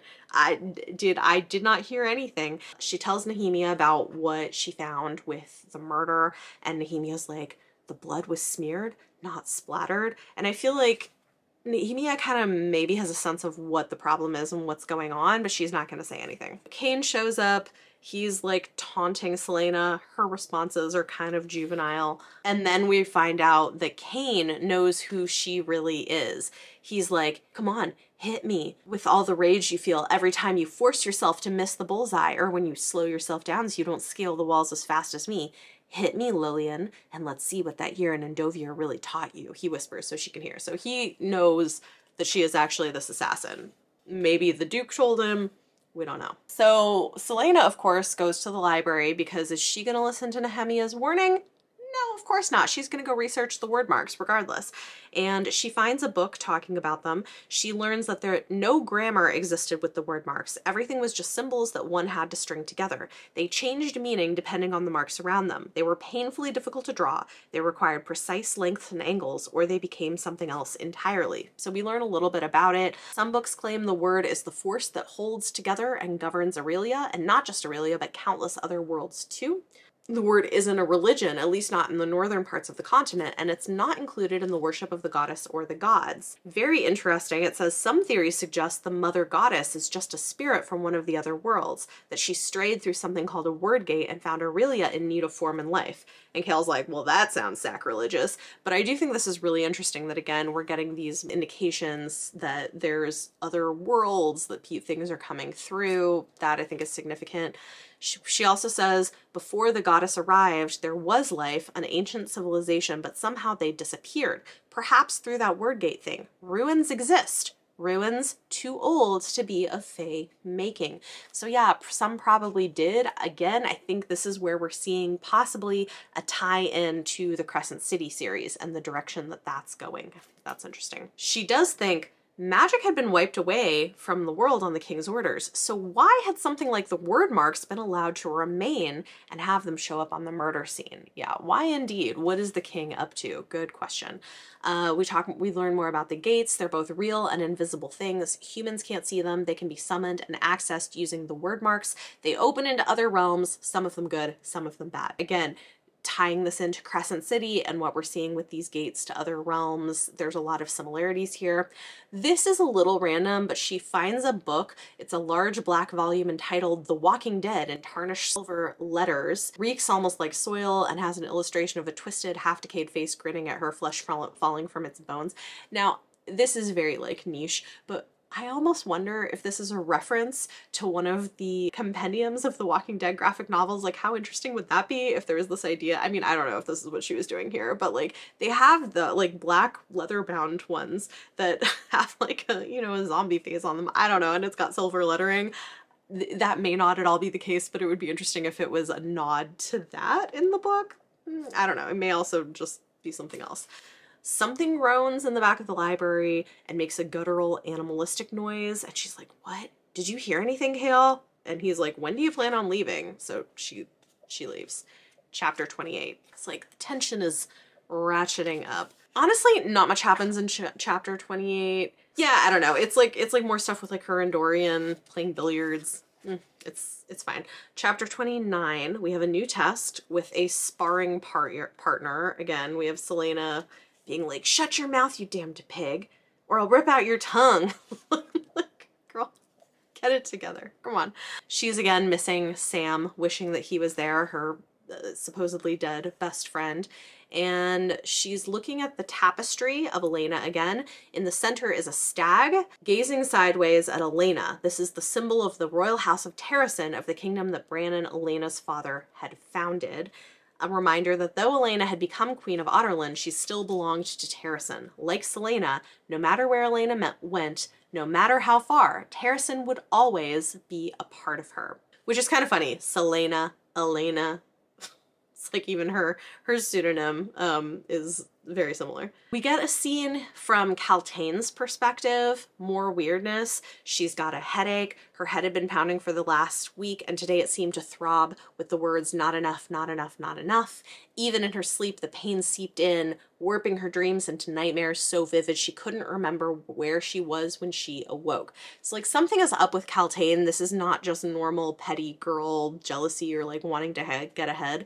There's something else up here, and it's like making it, it's making it pretty clear. One thing that's interesting is she tells the queen a lie. She says, His Highness, Prince Dorian, told me only yesterday how much he enjoyed coming here to the court. The lie was easy enough, and it somehow made the pain of the headache ease. Interesting. She told the queen that he doesn't come because he's just shy, and the queen is like, Oh, he's told me that before. She's like, I wish he would find a young woman he favors. It's too bad you're already promised. Her head keeps pounding. She wished for her pipe, but hours remained of the court session. Not enough, not enough, the pain saying. This was her time. She has to get Dorian. So, like, there, there's something up with that. Lastly, chapter 30. Celaena is trying to figure out what's up with the killer. She's wondering how was the killer selecting them? There were there was no pattern. Five were dead. They had no connection to each other aside from the competition. She tells Chaol that Cain knows who she really is, her true identity, that Perrington told him and Cain told me. And he seems pretty serious about that and concerned. And then they find yet another body in the servants' passage. Gaping chest cavity, missing brain and face, two Wyrdmarks drawn on either side of the body in chalk. This time, she also sees claw marks in the stone, at least a quarter of an inch. There's no, and this is where things start to get interesting. There's no blood in these claw marks. They're clean, which means whatever did this sharpened its nails before it gutted him, which means it had time to do that before it attacked him. So she notices, she like, you know, does her like some Sherlockian type stuff and realizes Verin would have seen whatever it was long before he got here. Those are clean cuts around his ankles. His tendons were snapped by a knife to keep him from running. His fingernails, the tips are cracked and shattered. Fingernail marks. He was trying to drag himself away by his fingertips. He was alive the entire time that thing sharpened its claws on the stone while its master watched. And Celaena realizes that maybe the champion's killer and Elena's mysterious evil force might be one and the same. How is she just now realizing this? Like, that is a piece we could have put together pretty obviously from the get go. But I do think that that's interesting that we now know that there is a creature and a master. And the master is somebody that people must be trusting enough to not be running away from, and then it's incapacitating them so the creature can eat them, basically. Then we get Dorian and Celaena having a conversation. He asks her why she likes music. She says she loses herself in it, becomes empty and full all at once. And she says, When I play, for once, I'm not destroying, I'm creating. And she says, I used to want to be a healer back when I was, back before this became my profession, when I was almost too young to remember. I wanted to be a healer. So I think the fact that she wanted to become a healer when she was a little girl is likely part of why she ends up helping another very important character become a healer. So if you know, you know who I'm talking about, but I think that there's a, definitely a connection there. She asks Dorian why he's not married yet, and he's like, because I can't stomach the idea of marrying a woman inferior to me in mind and spirit. It would mean death of my soul. and she's like, What? Marriage is a legal contract. It's not a sacred thing. As the crown prince, you should have given up such fanciful notions. What if you're ordered to marry for the sake of alliance? Would you start a war because of your romantic ideals? And he's like, It's not like that. So he's like, he's kind of naive, to be honest. But she's like, Oh, your father wouldn't command you to marry some princess in order to strengthen his empire? My father has an army to do that for him. You could easily love some woman on the side. Marriage doesn't mean you can't love other people you marry the person you love and none other. and she laughs at him. So I think it's it's interesting. He's like definitely a romantic, a little naive for his place in the world, but okay. She does say, I'm being practical, there's a difference, but you are in a position where it's possible for you to change Erilea for the better. You could help create a world where true love isn't needed to secure a happy ending. And what sort of world would I need to create for that to happen? A world where men govern themselves you speak of anarchy and treason. So it's interesting that she's like, people should be able to govern themselves. She's pushing for democracy. Interesting. Chaol is watching Perrington and he notices a shade clouding his eyes that's strange. So there's something up, like we get indications that there's something up with Perrington. Perrington's eyes fell upon the black ring on his left hand and darkened, as if his pupils had expanded to encompass all of each eye. Then it was gone. His eyes returned to normal. Is this similar to the black ring that Cain wears on his hand? Hmm, I wonder. I'm enjoying the mystery. I can't believe how much foreshadowing there is and connections to things that she does later on. I think it's really clear going back and rereading this now, and I'm glad I'm doing it. But I am going to read another 10 chapters and then I'll be back to discuss. I am back. I've read the next 10 chapters, so that means through the end of chapter 40, and we've only got 15 chapters left in the book. Before we go back to chapter 31, general thoughts on this section is the mystery is continuing to develop. We have questions about who did it, and Celaena ends up with some of her own ideas that honestly are kind of dumb, but that's fine. We'll talk about that when we get there. The love triangle romance is starting to be more evident, and we discover that Nehemia is more than she seems. So yeah, enjoyed, I enjoyed this segment. I will say, and I've been chatting with people in my Discord for the read along a little bit about this as well, that we've all kind of agreed this book does feel very young and very YA, and it is YA, so I think it makes sense. I do think that the characters grow through the series and it feels less YA a few books in from what I remember, but it is interesting to go back and read this and be like, oh yeah, these characters read as very young, and I think that makes sense for the audience audience that this was originally written for. Okay, so let's look at chapter 31. The spirit of Elena comes back to visit her again. Celaena's a little bit bratty about it, but she says, I came here to warn you to keep an eye on your right. Look to your right. You'll find the answers there. And Celaena's like, what? And then she has a test where you have to identify poisons and rank these goblets of potential poison from least to most deadly and then drink the one that you think is least deadly. They do have antidotes, but she remembers, Elena said, look to your right, you'll find answers there, and copies one of the other contestants and remembers that he had been trained in poisons and she gets it right. Would she have actually died? Probably not because they did have antidotes, but she would have been sick, so I, I guess that helped her. Chapter 32, we're aware that time has passed. October is over, Yulemas is quickly arriving. So we're moving towards the end of the year and the end of all of the competitions. We've got more interactions between Celaena and Nehemia, and Nehemia says, we're friends. When you need me, I'll be there. And this, I think, is the thing that Celaena is so quick, and I guess given her history it makes sense, but later on Celaena is so quick to distrust Nehemia and to assume bad intentions. It's kind of unfortunate. I do know that it's part of her growth arc of needing to learn how to be a better friend and trust people and stuff given her history, but also justice for Nehemia because like the way that's handled I don't think needed to be. She does say the sound of hooves pounding, thunderous hooves haunts her dreams, and I'm thinking this maybe has something to do with Sam. I remember a bit about what goes on with Sam, but I don't remember everything. So I, I but I, I think that that's where that is coming from. Nehemia is starting to suspect that there's more to Celaena or Lillian as she thinks she is than meets the eye because she's like, oh, you should come with me to this see this acting troupe perform tonight. And she's like, oh, I can't. She's like, yeah, about that. Why are you always locked in your room with guards? We all have our secrets, though I'm curious why you're so closely watched by that captain and locked in your rooms at night. If I were a fool, I'd say they were afraid of you. So I feel like Nehemia sees that there's something up, but she's, you know, still a friend. Nehemia and Celaena go to the kennels where they find Dorian with this new batch of pups that had been born and he's not going to keep them because they're mutts. But there is a, a, a, puppy, a fifth pup, a bit larger than the others. Its coat was a silky silvery gold that shimmered in the shadows. And Dorian's like, it has a foul disposition and won't come near anyone, human or canine. And of course Celaena is like, no, don't hurt it. You can't kill it.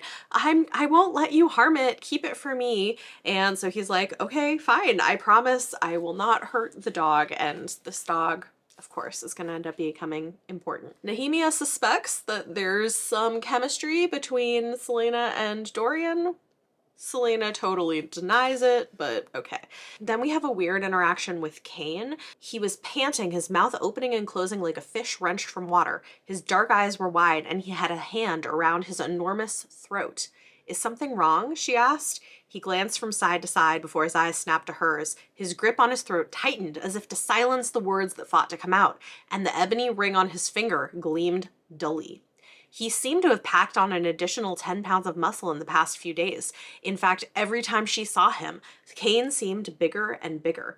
And then he runs really fast down the hallway. So we we see that there's something weird going on with Cain. He's changing physically. There's strange stuff. She does send messages to her two allies being like, "Stay in your chambers. Don't open the door for anyone."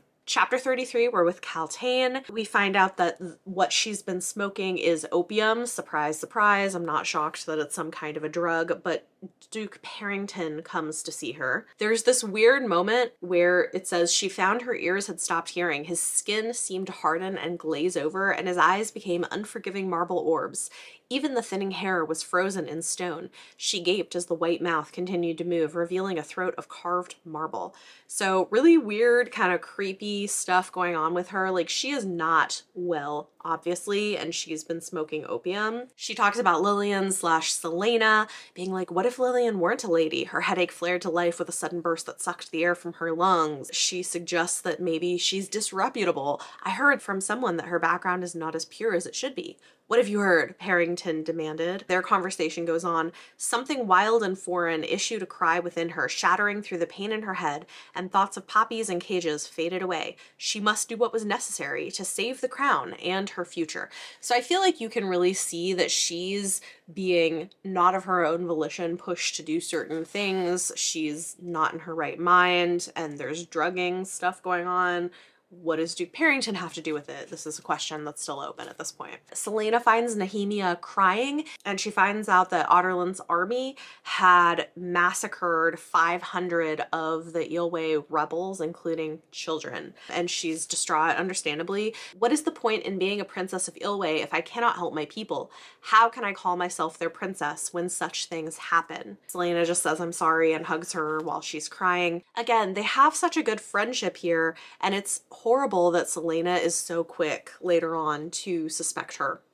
Chapter 34, I love because we have Celaena on her period having really bad cramps. And that is one thing that I appreciate about Sarah, and again, is something that we weren't getting a lot of at this time, is fantasy books dealing with menstruation because it is a normal part of life and sometimes it's painful. And the fact that we have this chapter where Celaena's weight gain after having been nearly starved in the mines had finally brought her cycles back. She's dealing with really severe nausea and cramping. I just think that having that kind of representation in a fantasy book is great and more people should do that. Uh, Joe Abercrombie also has periods, which I think is great. Of course, Chaol comes in and thinks she's sick about what happened to Nehemia's people, and it's it is interesting how Chaol being captain of the guard and Dorian being the prince are both very sympathetic to the rebels, which is not necessarily what you would expect. Chaol says, I'd like to think that if my country was conquered, I would stop at nothing to win back my people's freedom too. And so he doesn't think she's really sick, but then she vomits all over him. And then he's like, Oh, you really are sick. What's wrong? And then she's like, My monthly cycles finally came back. And he's like, Oh, I, if then, I'll take my leave. like, he's like very typical. It's kind of hilarious. But then, of course, Dorian comes in and is like, I intercepted Chaol and he informed me of your condition. You'd think a man in his position wouldn't be so squeamish, especially after examining all of these corpses. So he kind of distracts her. This scene, I think, is really entertaining. She's like, out, out, out, leave me be and go womanize someone else. it's just, it's great. So I love the fact that Dorian's like, yeah, periods, whatever. And Chaol's like, oh my God. I don't know. It's good. Then he finds out that she has bought and been reading a book called Sunset's Passions, which is a steamy romance novel. And he's like, oh, do you actually read this rubbish? And she's like, You may borrow it when I'm done. If you read it, your literary experience will be complete, and it'll give you some creative ideas of things to do with your lady friends. He hissed, I will not read this. Then I suppose you're just like Chaol. The banter to me is funny. And also now seeing how Sarah has kind of pivoted to wanting to write more romance, you can really see how she was a fan of romance books from the get go. The fact that we have this moment of this steamy romance showing up in Throne of Glass, I didn't remember that, but I just, I find it interesting. We've got, you know, lots of angst and yearning Dorian wanting to know what Celaena's lips feel like and things like that. Celaena being upset she can't attend the Yulemas ball, but of course working on her own plots to try to attend anyway. We have Chaol overlooking Celaena and Dorian being like, she's deceitful, cunning, vicious, but I can't make my feet move. He feels his barriers melting he let them melt. So he's he's falling for her too and he has a lot of compassion for her. He realizes she at 17 had gone to a death camp and survived. What terrified him even more was that he trusted her and he didn't know what that meant about himself. So we're seeing Chaol softening. She hasn't seen Nehemia for a while. Three more competitors have died. There are only six people left, including Cain and Grave and Knox. And then we have an interesting conversation between Dorian and Celaena that gives us some information about the amulet that she got from Elena. He's like, Where did you get that? And she's like, Oh, you know, I just found it in a jewelry box, whatever. And so he keeps looking at it and he's like, You know, Gavin was my hero when I was a kid. And Elena, first queen of Adarlan, had a magical amulet. In the battle with the Dark Lord, Gavin and Elena found themselves defenseless against him. He was about to kill the princess when a spirit appeared and gave her the necklace. And when she put it on, Erawan couldn't harm her. She saw the Dark Lord for what he was and called him by his true name. It surprised him so much that he became distracted and Gavin slew him. They called her necklace the Eye of Elena. It's been lost for centuries. So of course she kind of pushes it off and he's like, oh, you know, your necklace looks just like it. Maybe it's a replica. She's like, oh, maybe. I mean, I'm sure the original is like dust now, but apparently a spirit, the spirit of Elena has now come to give her the eye of Elena. It is interesting because it says she saw the Dark Lord for what he was and called him by his true name. So there's some kind of a, a glamour and being able to see him for what he really is that I think is going to end up maybe being important. Celaena is starting to wonder what Elena is trying to do. She's thinking Elena would have had to know someone would recognize her amulet. If it was the real thing, the king could kill her on the spot for wearing not only an heirloom of his house, but something of power. But of course the king is not back there yet. Then Celaena finds a bunch of Wyrdmarks under her bed written in chalk. She washes them off, but that's super creepy. So is she about to be targeted? And then when she can't sleep, she goes to the library and sees Nehemia reading a book and this is an interesting moment, and this is where Celaena instead of trusting her friend, starts to suspect her, even though honestly, I think it's kind of a stupid suspicion. She's shifted her eyes to the princess's book. That wasn't the book they used during their lessons. No, it was a thick aging book, crammed with dense lines of text. What are you reading? She slams the book shut, is like, nothing? I thought you couldn't read at that level yet. Then you're like every ignorant fool in this castle, Lillian, she said with perfect pronunciation in the common tongue. Not giving her a chance to reply, the princess strode away. It didn't make sense. Nehemia couldn't read books that advanced, not when she still stumbled through lines of text. And Nehemia never spoke with that kind of flawless accent. And then she sees a piece of paper that had fallen out, and on it is a Wyrdmark. So instead of thinking, hmm, maybe Nehemia is purposefully making herself seem less smart than she is in order to protect herself in her enemy's castle, she suspects that like oh maybe she's warning me to stay away from the Wyrdmarks not to help me but because she's the person who's been using them to kill all these people. Which why would she do that? What's the point of her killing all of the champions if she was trying to kill people in the in the castle as the person she is, she would target other people. It just doesn't make sense, but this is what she starts to suspect. Chapter 36, Celaena, of course, then is like, uh, okay, well, I'm doubling down on researching the Wyrdmarks after that. And it is Yulemas, and she gets a huge bag of candy on her pillow and eats like half of it and ends up with stained red teeth. It's kind of silly. It just, it's, it's young. Like, it, it, it's young, but I think that was what I found so delightful about it when I first read it. It turns out Dorian had given her the candy and then also brings her that golden haired puppy and is like, You need to name her. And of course, Celaena names her Fleetfoot. And Fleetfoot is going to be a significant part of her life for quite a while. One thing that I think gives us an indication of why she doesn't trust Nehemia is it says she'd seen friends do terrible things before, and it had become safer for her to believe the worst. She'd witnessed firsthand how far a need for revenge could drive someone. Perhaps Nehemia wouldn't do anything. Perhaps she was just being paranoid and ridiculous. But if something happened tonight, she's worried about Chaol and Dorian getting hurt at the ball, and so she decides to find a way to get herself to the Yulemas ball. I feel like maybe Sam is the friend who'd done terrible things before in a need for revenge. I don't know. I mean, I think that's right, but chapter 37 she goes to the temple services it sounds kind of cool it's uh, built entirely from glass where there's like snow up on top i don't know it sounds kind of like a cool space one thing that's interesting and i think is a tie to other books in this universe is we see the high priestess and here's the description of her. The folds of her midnight blue gossamer robe fell around her, and her white hair was long and unbound.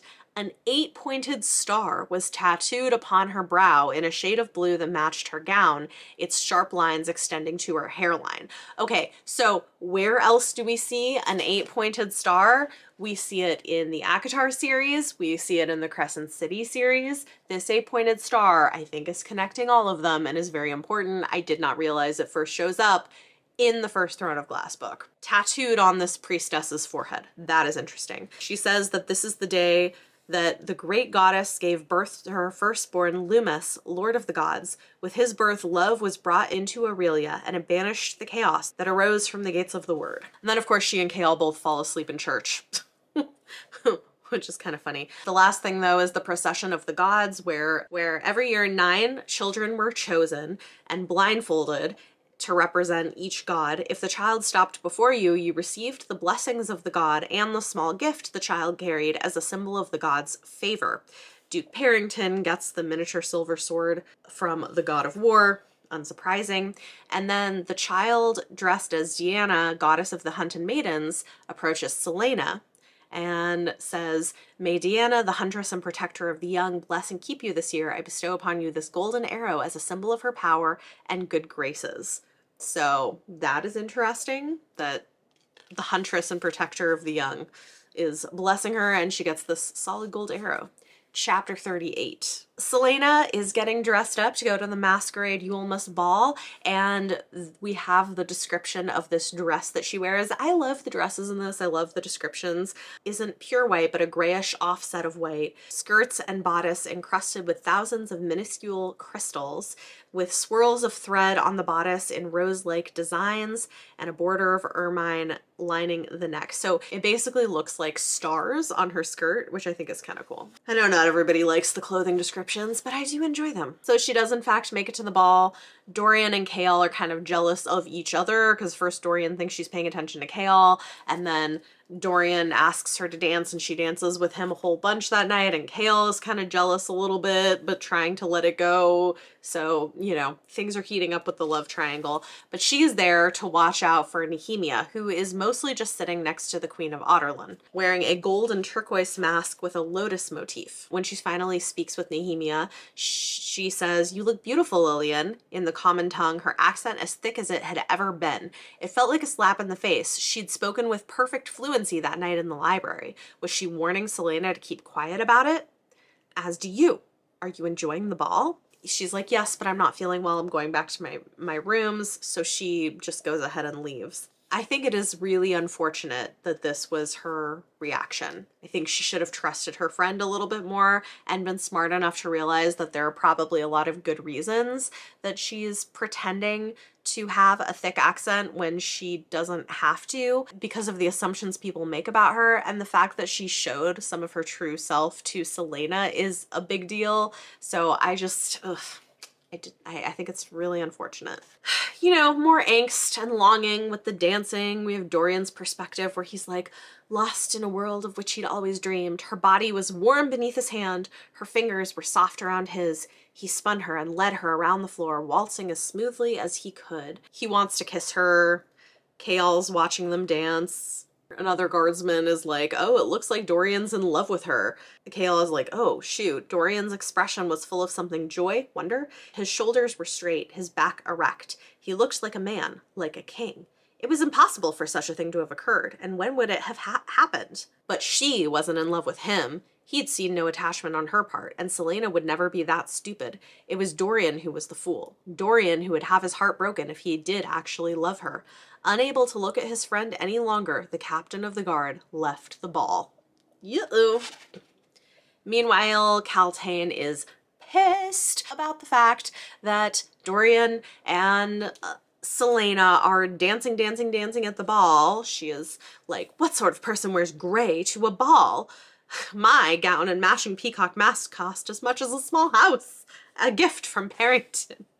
it's like kind of a lot. After the ball, Dorian follows her and kisses her for the first time. So got some kissing going on and she's like, what am I doing? He's the crown prince of Adarlan. He's my enemy. I need to go to bed. But then she goes to the balcony and flings open the doors, embracing the chill air. Her hand rose to her lips and she stared up at the stars, feeling her heart grow and grow and grow. When I read that line, I like couldn't help thinking of like the Grinch who stole Christmas. His heart grew three sizes that day. I don't know. I don't know. Meanwhile, of course, though, Chaol is in the garden below looking up at her on the balcony, longing angstily as well. So we've got lots of angst in this little love triangle. Lastly, chapter 40. Okay, this is when she officially names Fleetfoot and they have, you know, interaction about the kissing. There's a line that I like where she's about to get changed and Dorian sees her back with these kind of nasty scars and he's like, oh, your scars are awful. And she says, we all bear scars, Dorian. Mine just happen to be more visible than most. I think that's a good line very, very solid line. We've got Kaltain with Duke Perrington in this weird greenhouse. There's something weird going on with him, going on with his ring, of course, but he decides to tell Kaltain the truth about who Celaena really is and that she's an assassin. And of course, Kaltain is like, what? How can we stop them? Tell the king? And Perrington's like, no, she's to face the remaining champions in a duel, and in the duel she'll drink a toast in honor of the goddess and gods. I was going to ask you to preside over the toast as a representation of the goddess. Perhaps you could slip something into her drink. Give her a dose of bloodbane, which is the, most dangerous poison that they tested in that, that test that they had. Not lethal, but just enough to cause her to lose control. It would give Cain the advantage he needs. And so she basically agrees, partly because he's probably using his power on him. Things are coming to a head. We've got the final duel coming up where Celaena is probably going to face Cain. We've got a plot to drug her beforehand. We've got these murders to figure out. We've got the thing with Nehemia where Celaena is not trusting her. We've got a love triangle. There's a lot happening here and we have 15 chapters left in the book. So I think what I'm going to do is read the next seven chapters, check in, and then read the end of the book and do my final check-in. All right, I have read the next seven chapters. This is the penultimate clip in this very long video that I then will have to go edit. So that's gonna be exciting. I feel like this was the great place to end because it's right before the major ending of the book or like the major events of the end of the book. So let's take a look. Chapter 41. She's still suspecting Nehemia. I'm like, girl, come on, why? She's like, how long did it take Nehemia to learn the Wyrdmarks? And how could their power possibly still work when magic itself was gone from the world? All good questions, but why are we still suspecting Nehemia? Nehemia had been deceitful about her language skills and how much she knew about the Wyrdmarks, but she could have any number of reasons for that. Yes, yes, go with that thought, Celaena go with that thought. She could have had lots of other reasons than being this killer. Nehemia was one of the good ones. She wouldn't target Celaena, not when they'd been friends. They had been friends. She still doesn't trust her, which I think is really unfortunate. Then she finds the symbols that she'd seen near the bodies, and in the margin, written by someone centuries ago, was the explanation. For sacrifices to the Ridderak, using the victim's blood, mark the area around it accordingly. Once the creature has been summoned, these marks guide the exchange. For the flesh of the sacrifice, the beast will grant you the victim's strength. Okay, now let me just say if Celaena was being smart here, this is the point at which she would say, Oh my god, it must be Cain. That's why he's getting so big and muscly in a weirdly unusual way. He's probably the murderer, like, obviously. But is that what she thinks? No. No, she's so stuck on this Nehemia thing. She's like, ooh, I wonder why Nehemia needs all the strength of the champions. No, come on, it's so dumb. It's so dumb. She's like, Nehemia could easily be a cunning actress. Why does she need their strength?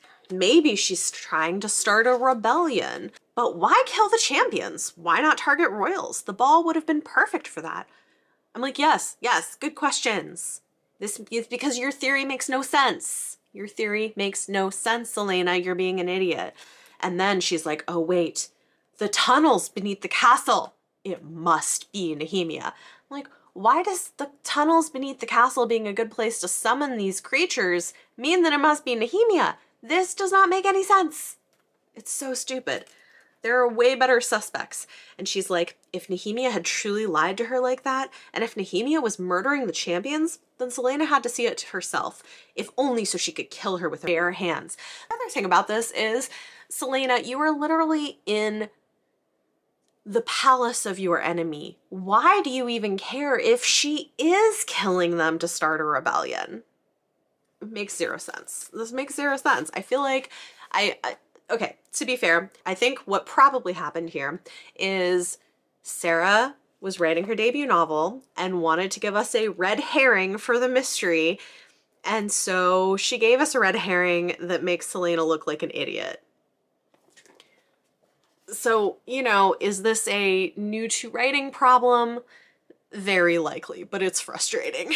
so, of course, Celaena's like, I am going down into those tunnels to figure out what's going on so I can see for myself if Nehemia is the one doing this. But of course, when she gets there, there's somebody chanting, and it's not Nehemia, it's a man.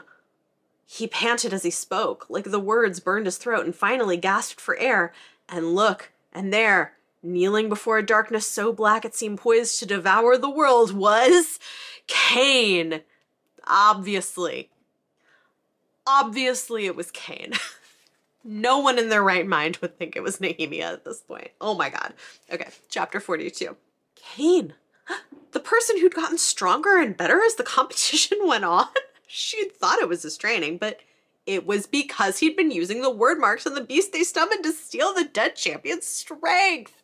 Like, girl, this, it's so, it's so absurd that you could not figure out what was actually going on here. Okay he calls forth this creature with like an animal's hind legs. It's the Ridderak. Cain raised his head and stood slowly as the creature knelt before him and lowered its dark eyes. Submission.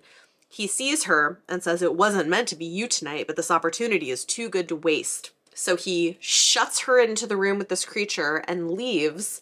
It doesn't attack her immediately, though. It sniffs at her and swipes at the ground with a clawed hand, striking deep enough to take out a chunk of stone it wanted her alive. So I think it's likely that maybe she doesn't smell like prey because of the thing she's wearing, but she just assumes.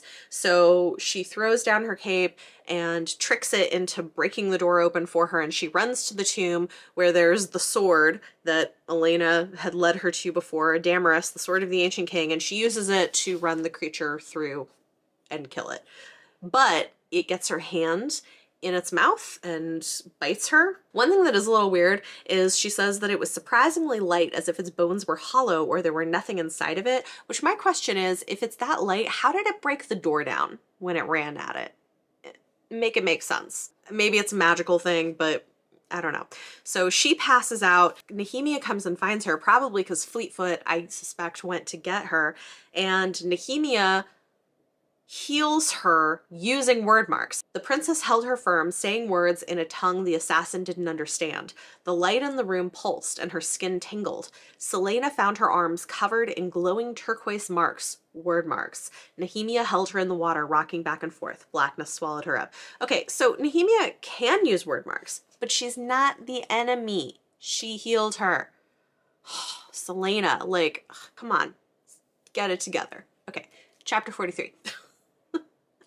She wakes up, her hand is completely healed. There are some small scars, but that's it. And she's like, What? And it's only been three hours.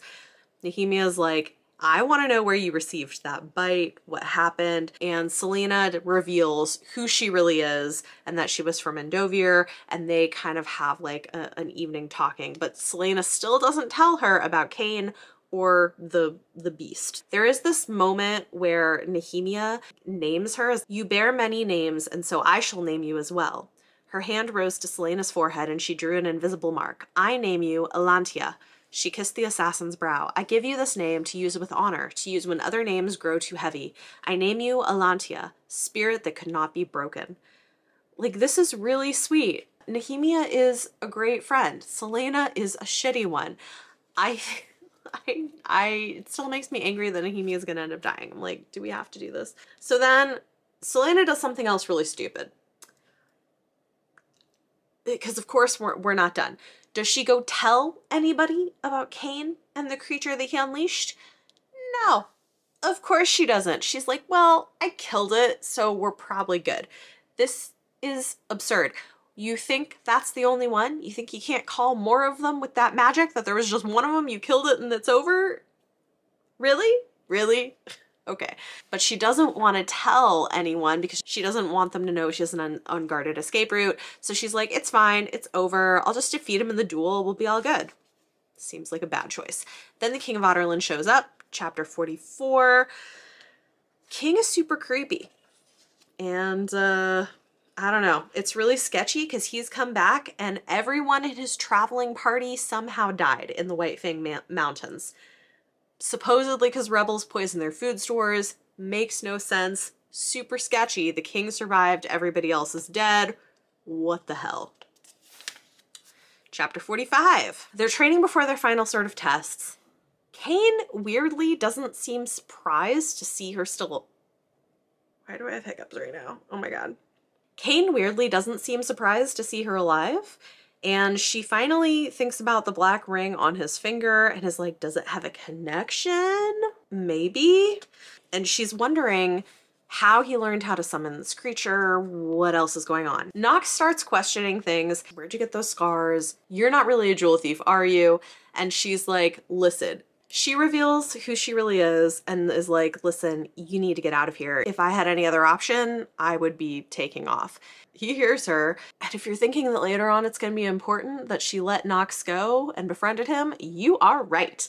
Not in this book, but in a later one. Kaltain on her opium walks by Cain and has a weird experience where it looks like shadows are leaking out of him and when she gets close to him the whisper of wings fills the air she sees things swooping past him and hovering above him super weird and creepy. More stuff with Celaena and Dorian and like, you know, the aftermath of their kiss. She assumes that Cain must have learned about Wyrdmarks in the White Fang Mountains where they say old women with iron teeth still wander those old women with teeth are the witches that we're going to learn more about later. She has a nightmare with thundering hooves and being chased by a demon. And it, yeah, just kind of drags it out. Basically, chapter 47, Kaltain puts the vial of poison in the goblet intended for Celaena. Cain is wearing the garb of the guards. Seems like the king already thinks he's probably going to be the winner. Nehemia gives Celaena her staff for her fights, which is cool. She says, Let it be with an Eyllwe weapon that you take them down. Let wood from the forests of Eyllwe defeat steel from Adarlan. Let the king's champion be someone who understands how innocents suffer.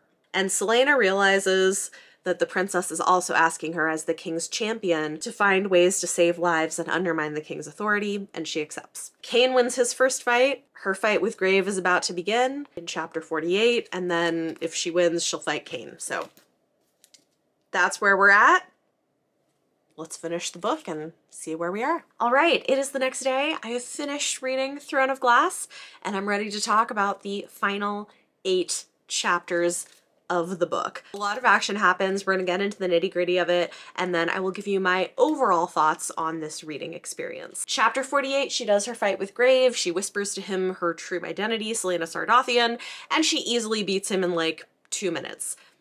But, but then, of course, Kaltain offers her the wine that is laced with a poison. Drink and let her bless you and replenish your strength and uh, everything kind of goes off. The world starts getting foggy, she has blurry vision, her stomach starts hurting, and things do not go well. Everything starts slowing down. Cain is injuring her. And she realizes that it hadn't been wine in the glass, it was bloodbane, the very drug that she'd just barely figured out in the test and had had to cheat with and so we've got a problem. Chaol is freaking out as he's watching this, and then there's an interesting moment where Cain is looking at her and somehow is able to see who she really is. He says, It's all there, right under that wall you built on top of it. I can see it, clear as day. What was it like when you woke up between your parents, covered in their blood? your mother was a pretty young thing, wasn't she? So somehow he is now able to see her past. And I think part of it is that other beings are maybe inhabiting him at this point, and Celaena, with the drug, as we find out later, interacting with the magic in her blood, is allowing her to see into a different realm. And that's part of what's going on. She gets pushed into the wall of the Black Tower because that's where they're fighting, and she sees something that looks undead staring back at her from inside. At first, she thinks that she's hallucinating, but then later it happens again. Cain grabbed her and shoved her against the clock tower once more, her face smashing into the stone. When she opened her eyes, the world shifted. Blackness was everywhere. Deep down, she knew it wasn't just a hallucination she saw, who she saw truly existed just beyond the veil of her world. The poisonous drug had somehow opened her mind to see them. There were two creatures now, and the second one had wings. The dead, demons, monsters, they wanted her. They were going to bring her inside their realm, and the tower was the gaping portal. She would be devoured. Cain grabs her amulet and tears it off of her neck, and then suddenly the bloodbane fully seizes control of her mind. She sees an army of the dead. He drops the amulet on the ground, and we have chapter 49. Dorian is horrified, and it says he watched in wide-eyed terror as Celaena thrashed on the ground, waving away things they couldn't see. What was happening? Had there been something in that wine? But there was also something abnormal about the way Cain just stood there smiling. Was there actually something there they couldn't see? So he's starting to suspect that something really is going on, even though it looks like Celaena's just laying on the ground and thrashing. It also becomes really clear that she's been drugged at this point. Meanwhile, Nehemia comes to the edge of the fighting circle and starts saying something under her breath, moving her fingers rapidly, tracing symbols. So she's trying to take the poison out of Celaena. Darkness Darkness around Cain like shreds of clothing in the wind. She's certain she is gonna die soon. Doors burst open, doors of wood, doors of iron, doors of air and magic. From another world, Elena swept down, cloaked in golden light. The ancient queen's hair glittered like a shooting star as she plummeted into Erilea. She exploded through the ranks of the dead, scattering them. Cain's sword came down, and a gust of wind slammed into Cain so hard he was sent sprawling to the ground, his sword flying across the veranda. The king is giving Cain the go-ahead to kill Elena, even though at the start of this he said, no killing in these fights, but he, he wants her dead. The demons surge again, but Queen Elena is challenging them. It says, through fading eyes, Celaena saw a crown of stars glittering atop Elena's head, her silver armor shining like a beacon in the blackness. She stretched out a hand, and golden light burst from her palm, forming a wall between them and the dead as she rushed to Celaena's side and cupped her face in her hands. I cannot protect you, she whispered. Her face was different too, sharper, more beautiful, her fey heritage. I cannot give you my strength, but I can remove this poison poison from your body. She says, once the poison is gone, you will not see me. You will not see the demons. And so Elena is like putting marks on Celaena's brow. And I think this is because Nehemia at the same time is trying to make this happen with her magic. Cain walks up and it says Cain, bearing the shadow dark thing that dwelled inside of him so something's already like living within him stepped through the wall as if it were nothing shattering it completely Petty tricks, your majesty, Cain said to Elena. Just petty tricks. You were brought here, all of you, all the players in the unfinished game. My friends, he gestured to the dead, have told me so. So we still don't know who's pulling all the strings here, who brought Elena and Celaena to each other. Elena charges the dead and is fighting them. She says the poison is almost gone. And then Celaena realizes that Nehemia is doing something, moving her hands strangely and helping make this happen.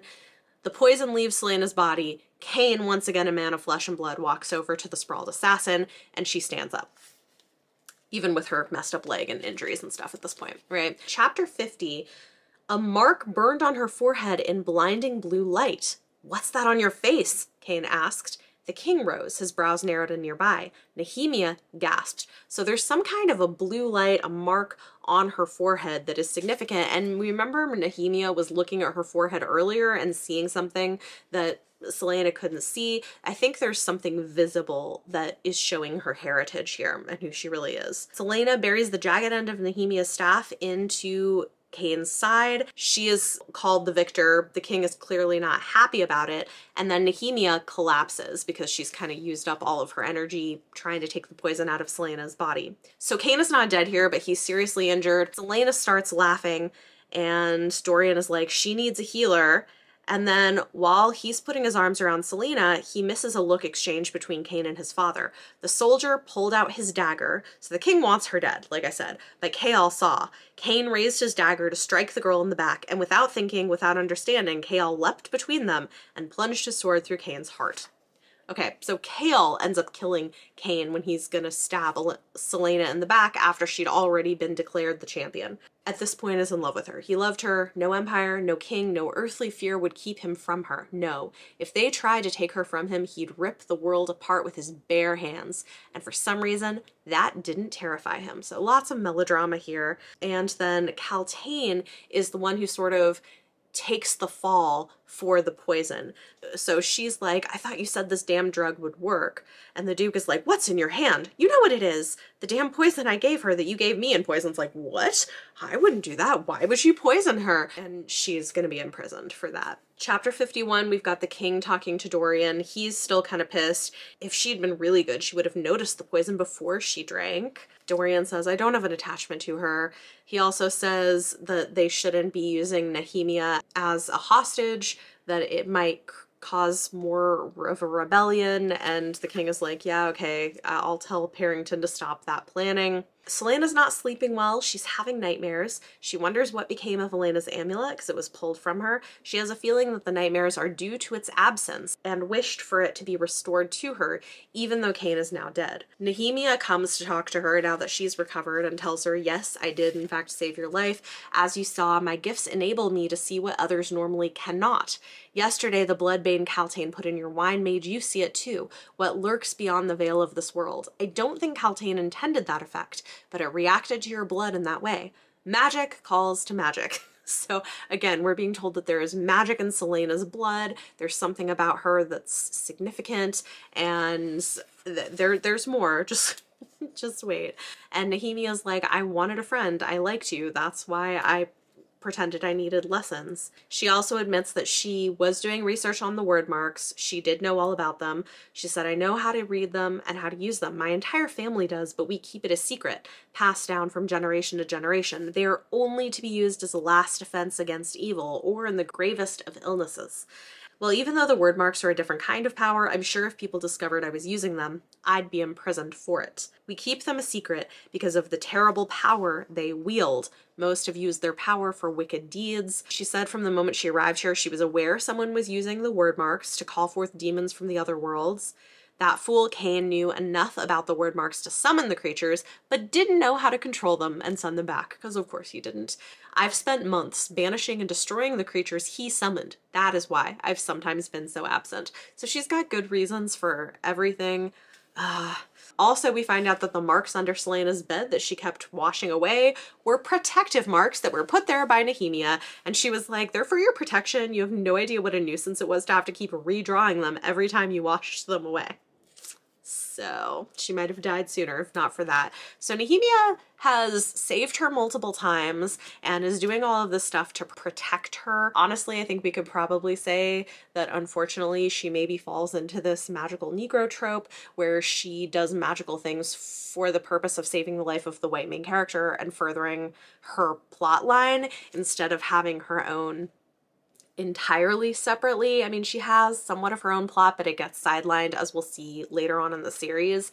And I really think that's unfortunate because I think she's a fantastic character and deserved better. We learn a little bit more about the portals and the other worlds or other realms. And Nehemia says that she opened a portal into one of the realms of the other world to let through Elena, the first queen of Adarlan. Celaena says, You know her? No, but she answered my call for help. Not all realms are full of darkness and death. Some are filled with creatures of good, beings that if our need is great enough will follow us into Erilea to help in our task. She heard your plea for help long before I opened the portal. Celaena is asking if it's possible to go to those other worlds. Nehemia's like, I don't know, my schooling isn't completed. But the queen was both in and not in this world. She was in the in between, where she could not fully cross over, nor could the creatures that you saw.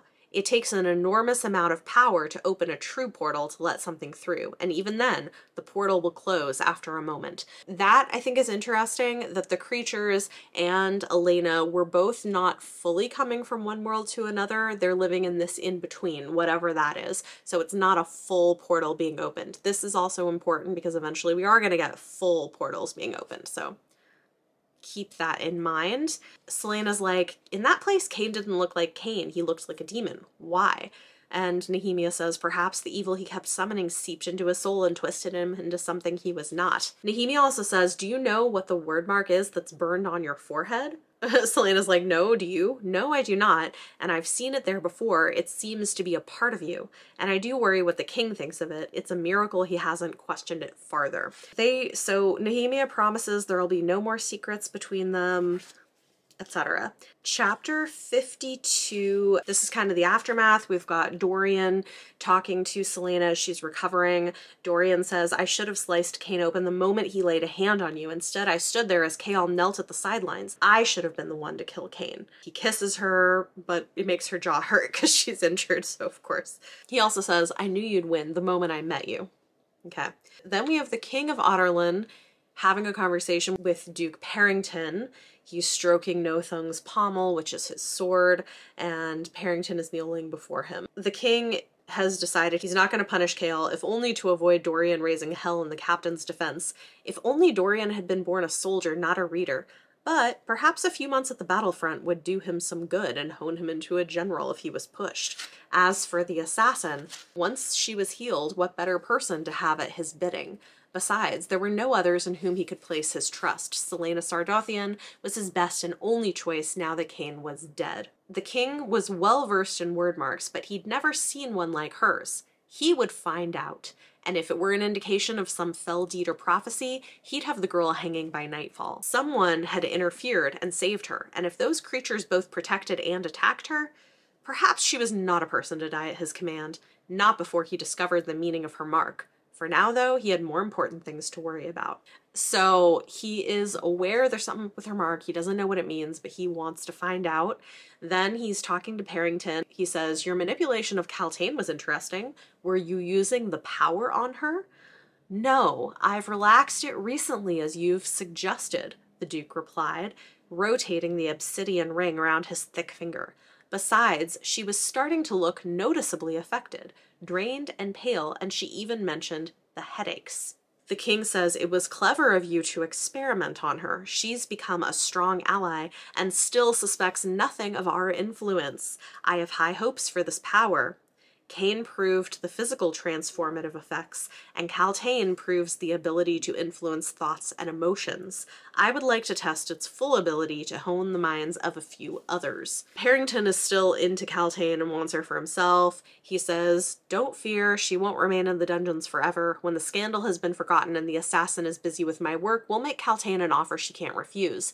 But there are ways of controlling her if you think she can't be trusted. And then he's like, oh, and stop pushing your plan to use the Eyllwe princess. It's attracting too much attention. So there's plots within plots going on here. This, I think, is going to be significant for Crown of Midnight as we go into the next book. Chapter 53 you know, Celaena is recovering with Fleetfoot. She's having she's having dreams filled with archaic words and long forgotten faces with Wyrdmarks that glowed blue, the king and a dead army summoned from the realms of hell, which interesting now that we know that Hell with a single L is a place in the Crescent City series. She meets up with Chaol and says, Thank you for killing Cain. I still remember how it felt when I made my first kill. It wasn't easy. He says, That's why I can't stop thinking about it, because it was easy. I just took my sword and killed him. I wanted to kill him. He knew about your parents how so this is where we're going to find out about kind of the how awful it was what she went through she says it was long ago it had been raining and i thought the dampness on their bed as i climbed in was from the open window and i woke the next morning and realized it wasn't rain oh that's so horrifying that's like really i mean re- really traumatizing like she's been through so much but then she says it was very long ago. I don't even remember what they looked like. That was another lie. She remembered every detail of her parents' faces. She and Chaol hug. Dorian walks in on them things are kind of awkward. Again, we have this whole love triangle thing happening. She finds out she's going to officially be named the King's Champion the next day and sign her contract with the King. And then she breaks things off with Dorian, even though they've been like making out and stuff like that. She says, I have enough secrets. I don't need another one. And if this relationship became something more, then it would only complicate matters when she eventually left the castle not to mention the complications of being with Dorian while she served as his father's champion. Though she wanted him, though she cared for him, she knew a lasting relationship wouldn't end well, not when he was heir to the throne. He's like, Are you saying you don't want to be with me? I'm saying that I'm going to leave in four years, and I don't know how this could possibly end well for either of us. I'm saying I don't want to think about the options. I'm saying that in four years, I'm going to be free, and I've never been free in my entire life, and I want to know what that feels like. He says, As you wish but I'd like to remain your friend always. So they're friends, no longer anything else, at least for the time being. Chapter 54, she tells Chaol that she ended things. She says, I'm the king's champion. Surely you realize how inappropriate it would be for me to have a relationship with a prince. And he says, I was wondering when you'd come to your senses. So, you know, there's still something between the two of them, of course. Celaena stood in the tomb and knew she was dreaming. She often visited the tomb in her dreams to slay the Ridderak again, to be trapped inside Elena's sarcophagus, to face a featureless young woman with golden hair and a crown far too heavy for her to bear. Maybe herself? Maybe? Maybe? But tonight, it was just her and Elena, and the tomb was filled with moonlight. The queen asks how she's recovering, and it says the queen's armor was gone, replaced by her usual flowing gown. I didn't know you were a warrior, she said, jerking her chin toward the sand stand where Damaris stood. There are many things history has forgotten about me. Elena's blue eyes glowed with sorrow and anger. I fought on the battlefields during the demon wars against Erawan, at Gavin's side. That's how we fell in love. But your legends portray me as a damsel who waited in a tower with a magic necklace that would help the heroic prince. Elena says, You could be different. You could be great. Greater than me. Than any of us. You could rattle the stars. Uh, iconic phrase in the series, rattle the stars. This is something that's going to come back. You know, I've got to, I've got to give it to Sarah. She, she does like a good series tagline. We've got light it up and through love all is possible. in the Crescent City series. Rattle the Stars is definitely one that we see repeated in Throne of Glass. But Elena says you could do anything if you only dared, and deep down you know it too. That's what scares you the most. There are people who need you to save them as much as you yourself need to be saved. I was sleeping a long endless sleep and I was awoken by a voice, and that voice didn't belong to one person, but many, some whispering, some screaming, some not even aware that they were crying out, but they all want the same thing. Her mark burns and then fades, and when you are ready, when you start to hear them crying out as well, then you will know why I came to you and why I have stood by you and will continue to watch over you no matter how many times you shove me away. She says, blood ties can't be broken. Blood ties can't be broken because there is a blood tie between Elena and Celaena. So, yeah. Chapter 55, this is the final chapter in the book, and this is her going before the king to finally sign her contract. He says, There will be no questioning on your part. When I tell you to do something, you will do it. I don't need to explain myself to you, and if you are somehow caught, you will deny any connection to me to your last breath. Is that clear? And then he blackmails her. He said, If you fail any of my tasks, or forget to return, I will kill the captain, I'll kill Chaol, then I'll have Nehemia killed and her brothers executed and their mother beside them. You get the picture? so she's like, yep, I get it. Get out. Then we've got Celaena and Chaol. He says, well, champion, yes, captain. Are you happy now? I may have just signed away my soul, but yes, we're as happy as I can be. Do you want to know what your first mission will be? Tell me tomorrow. so that's the end.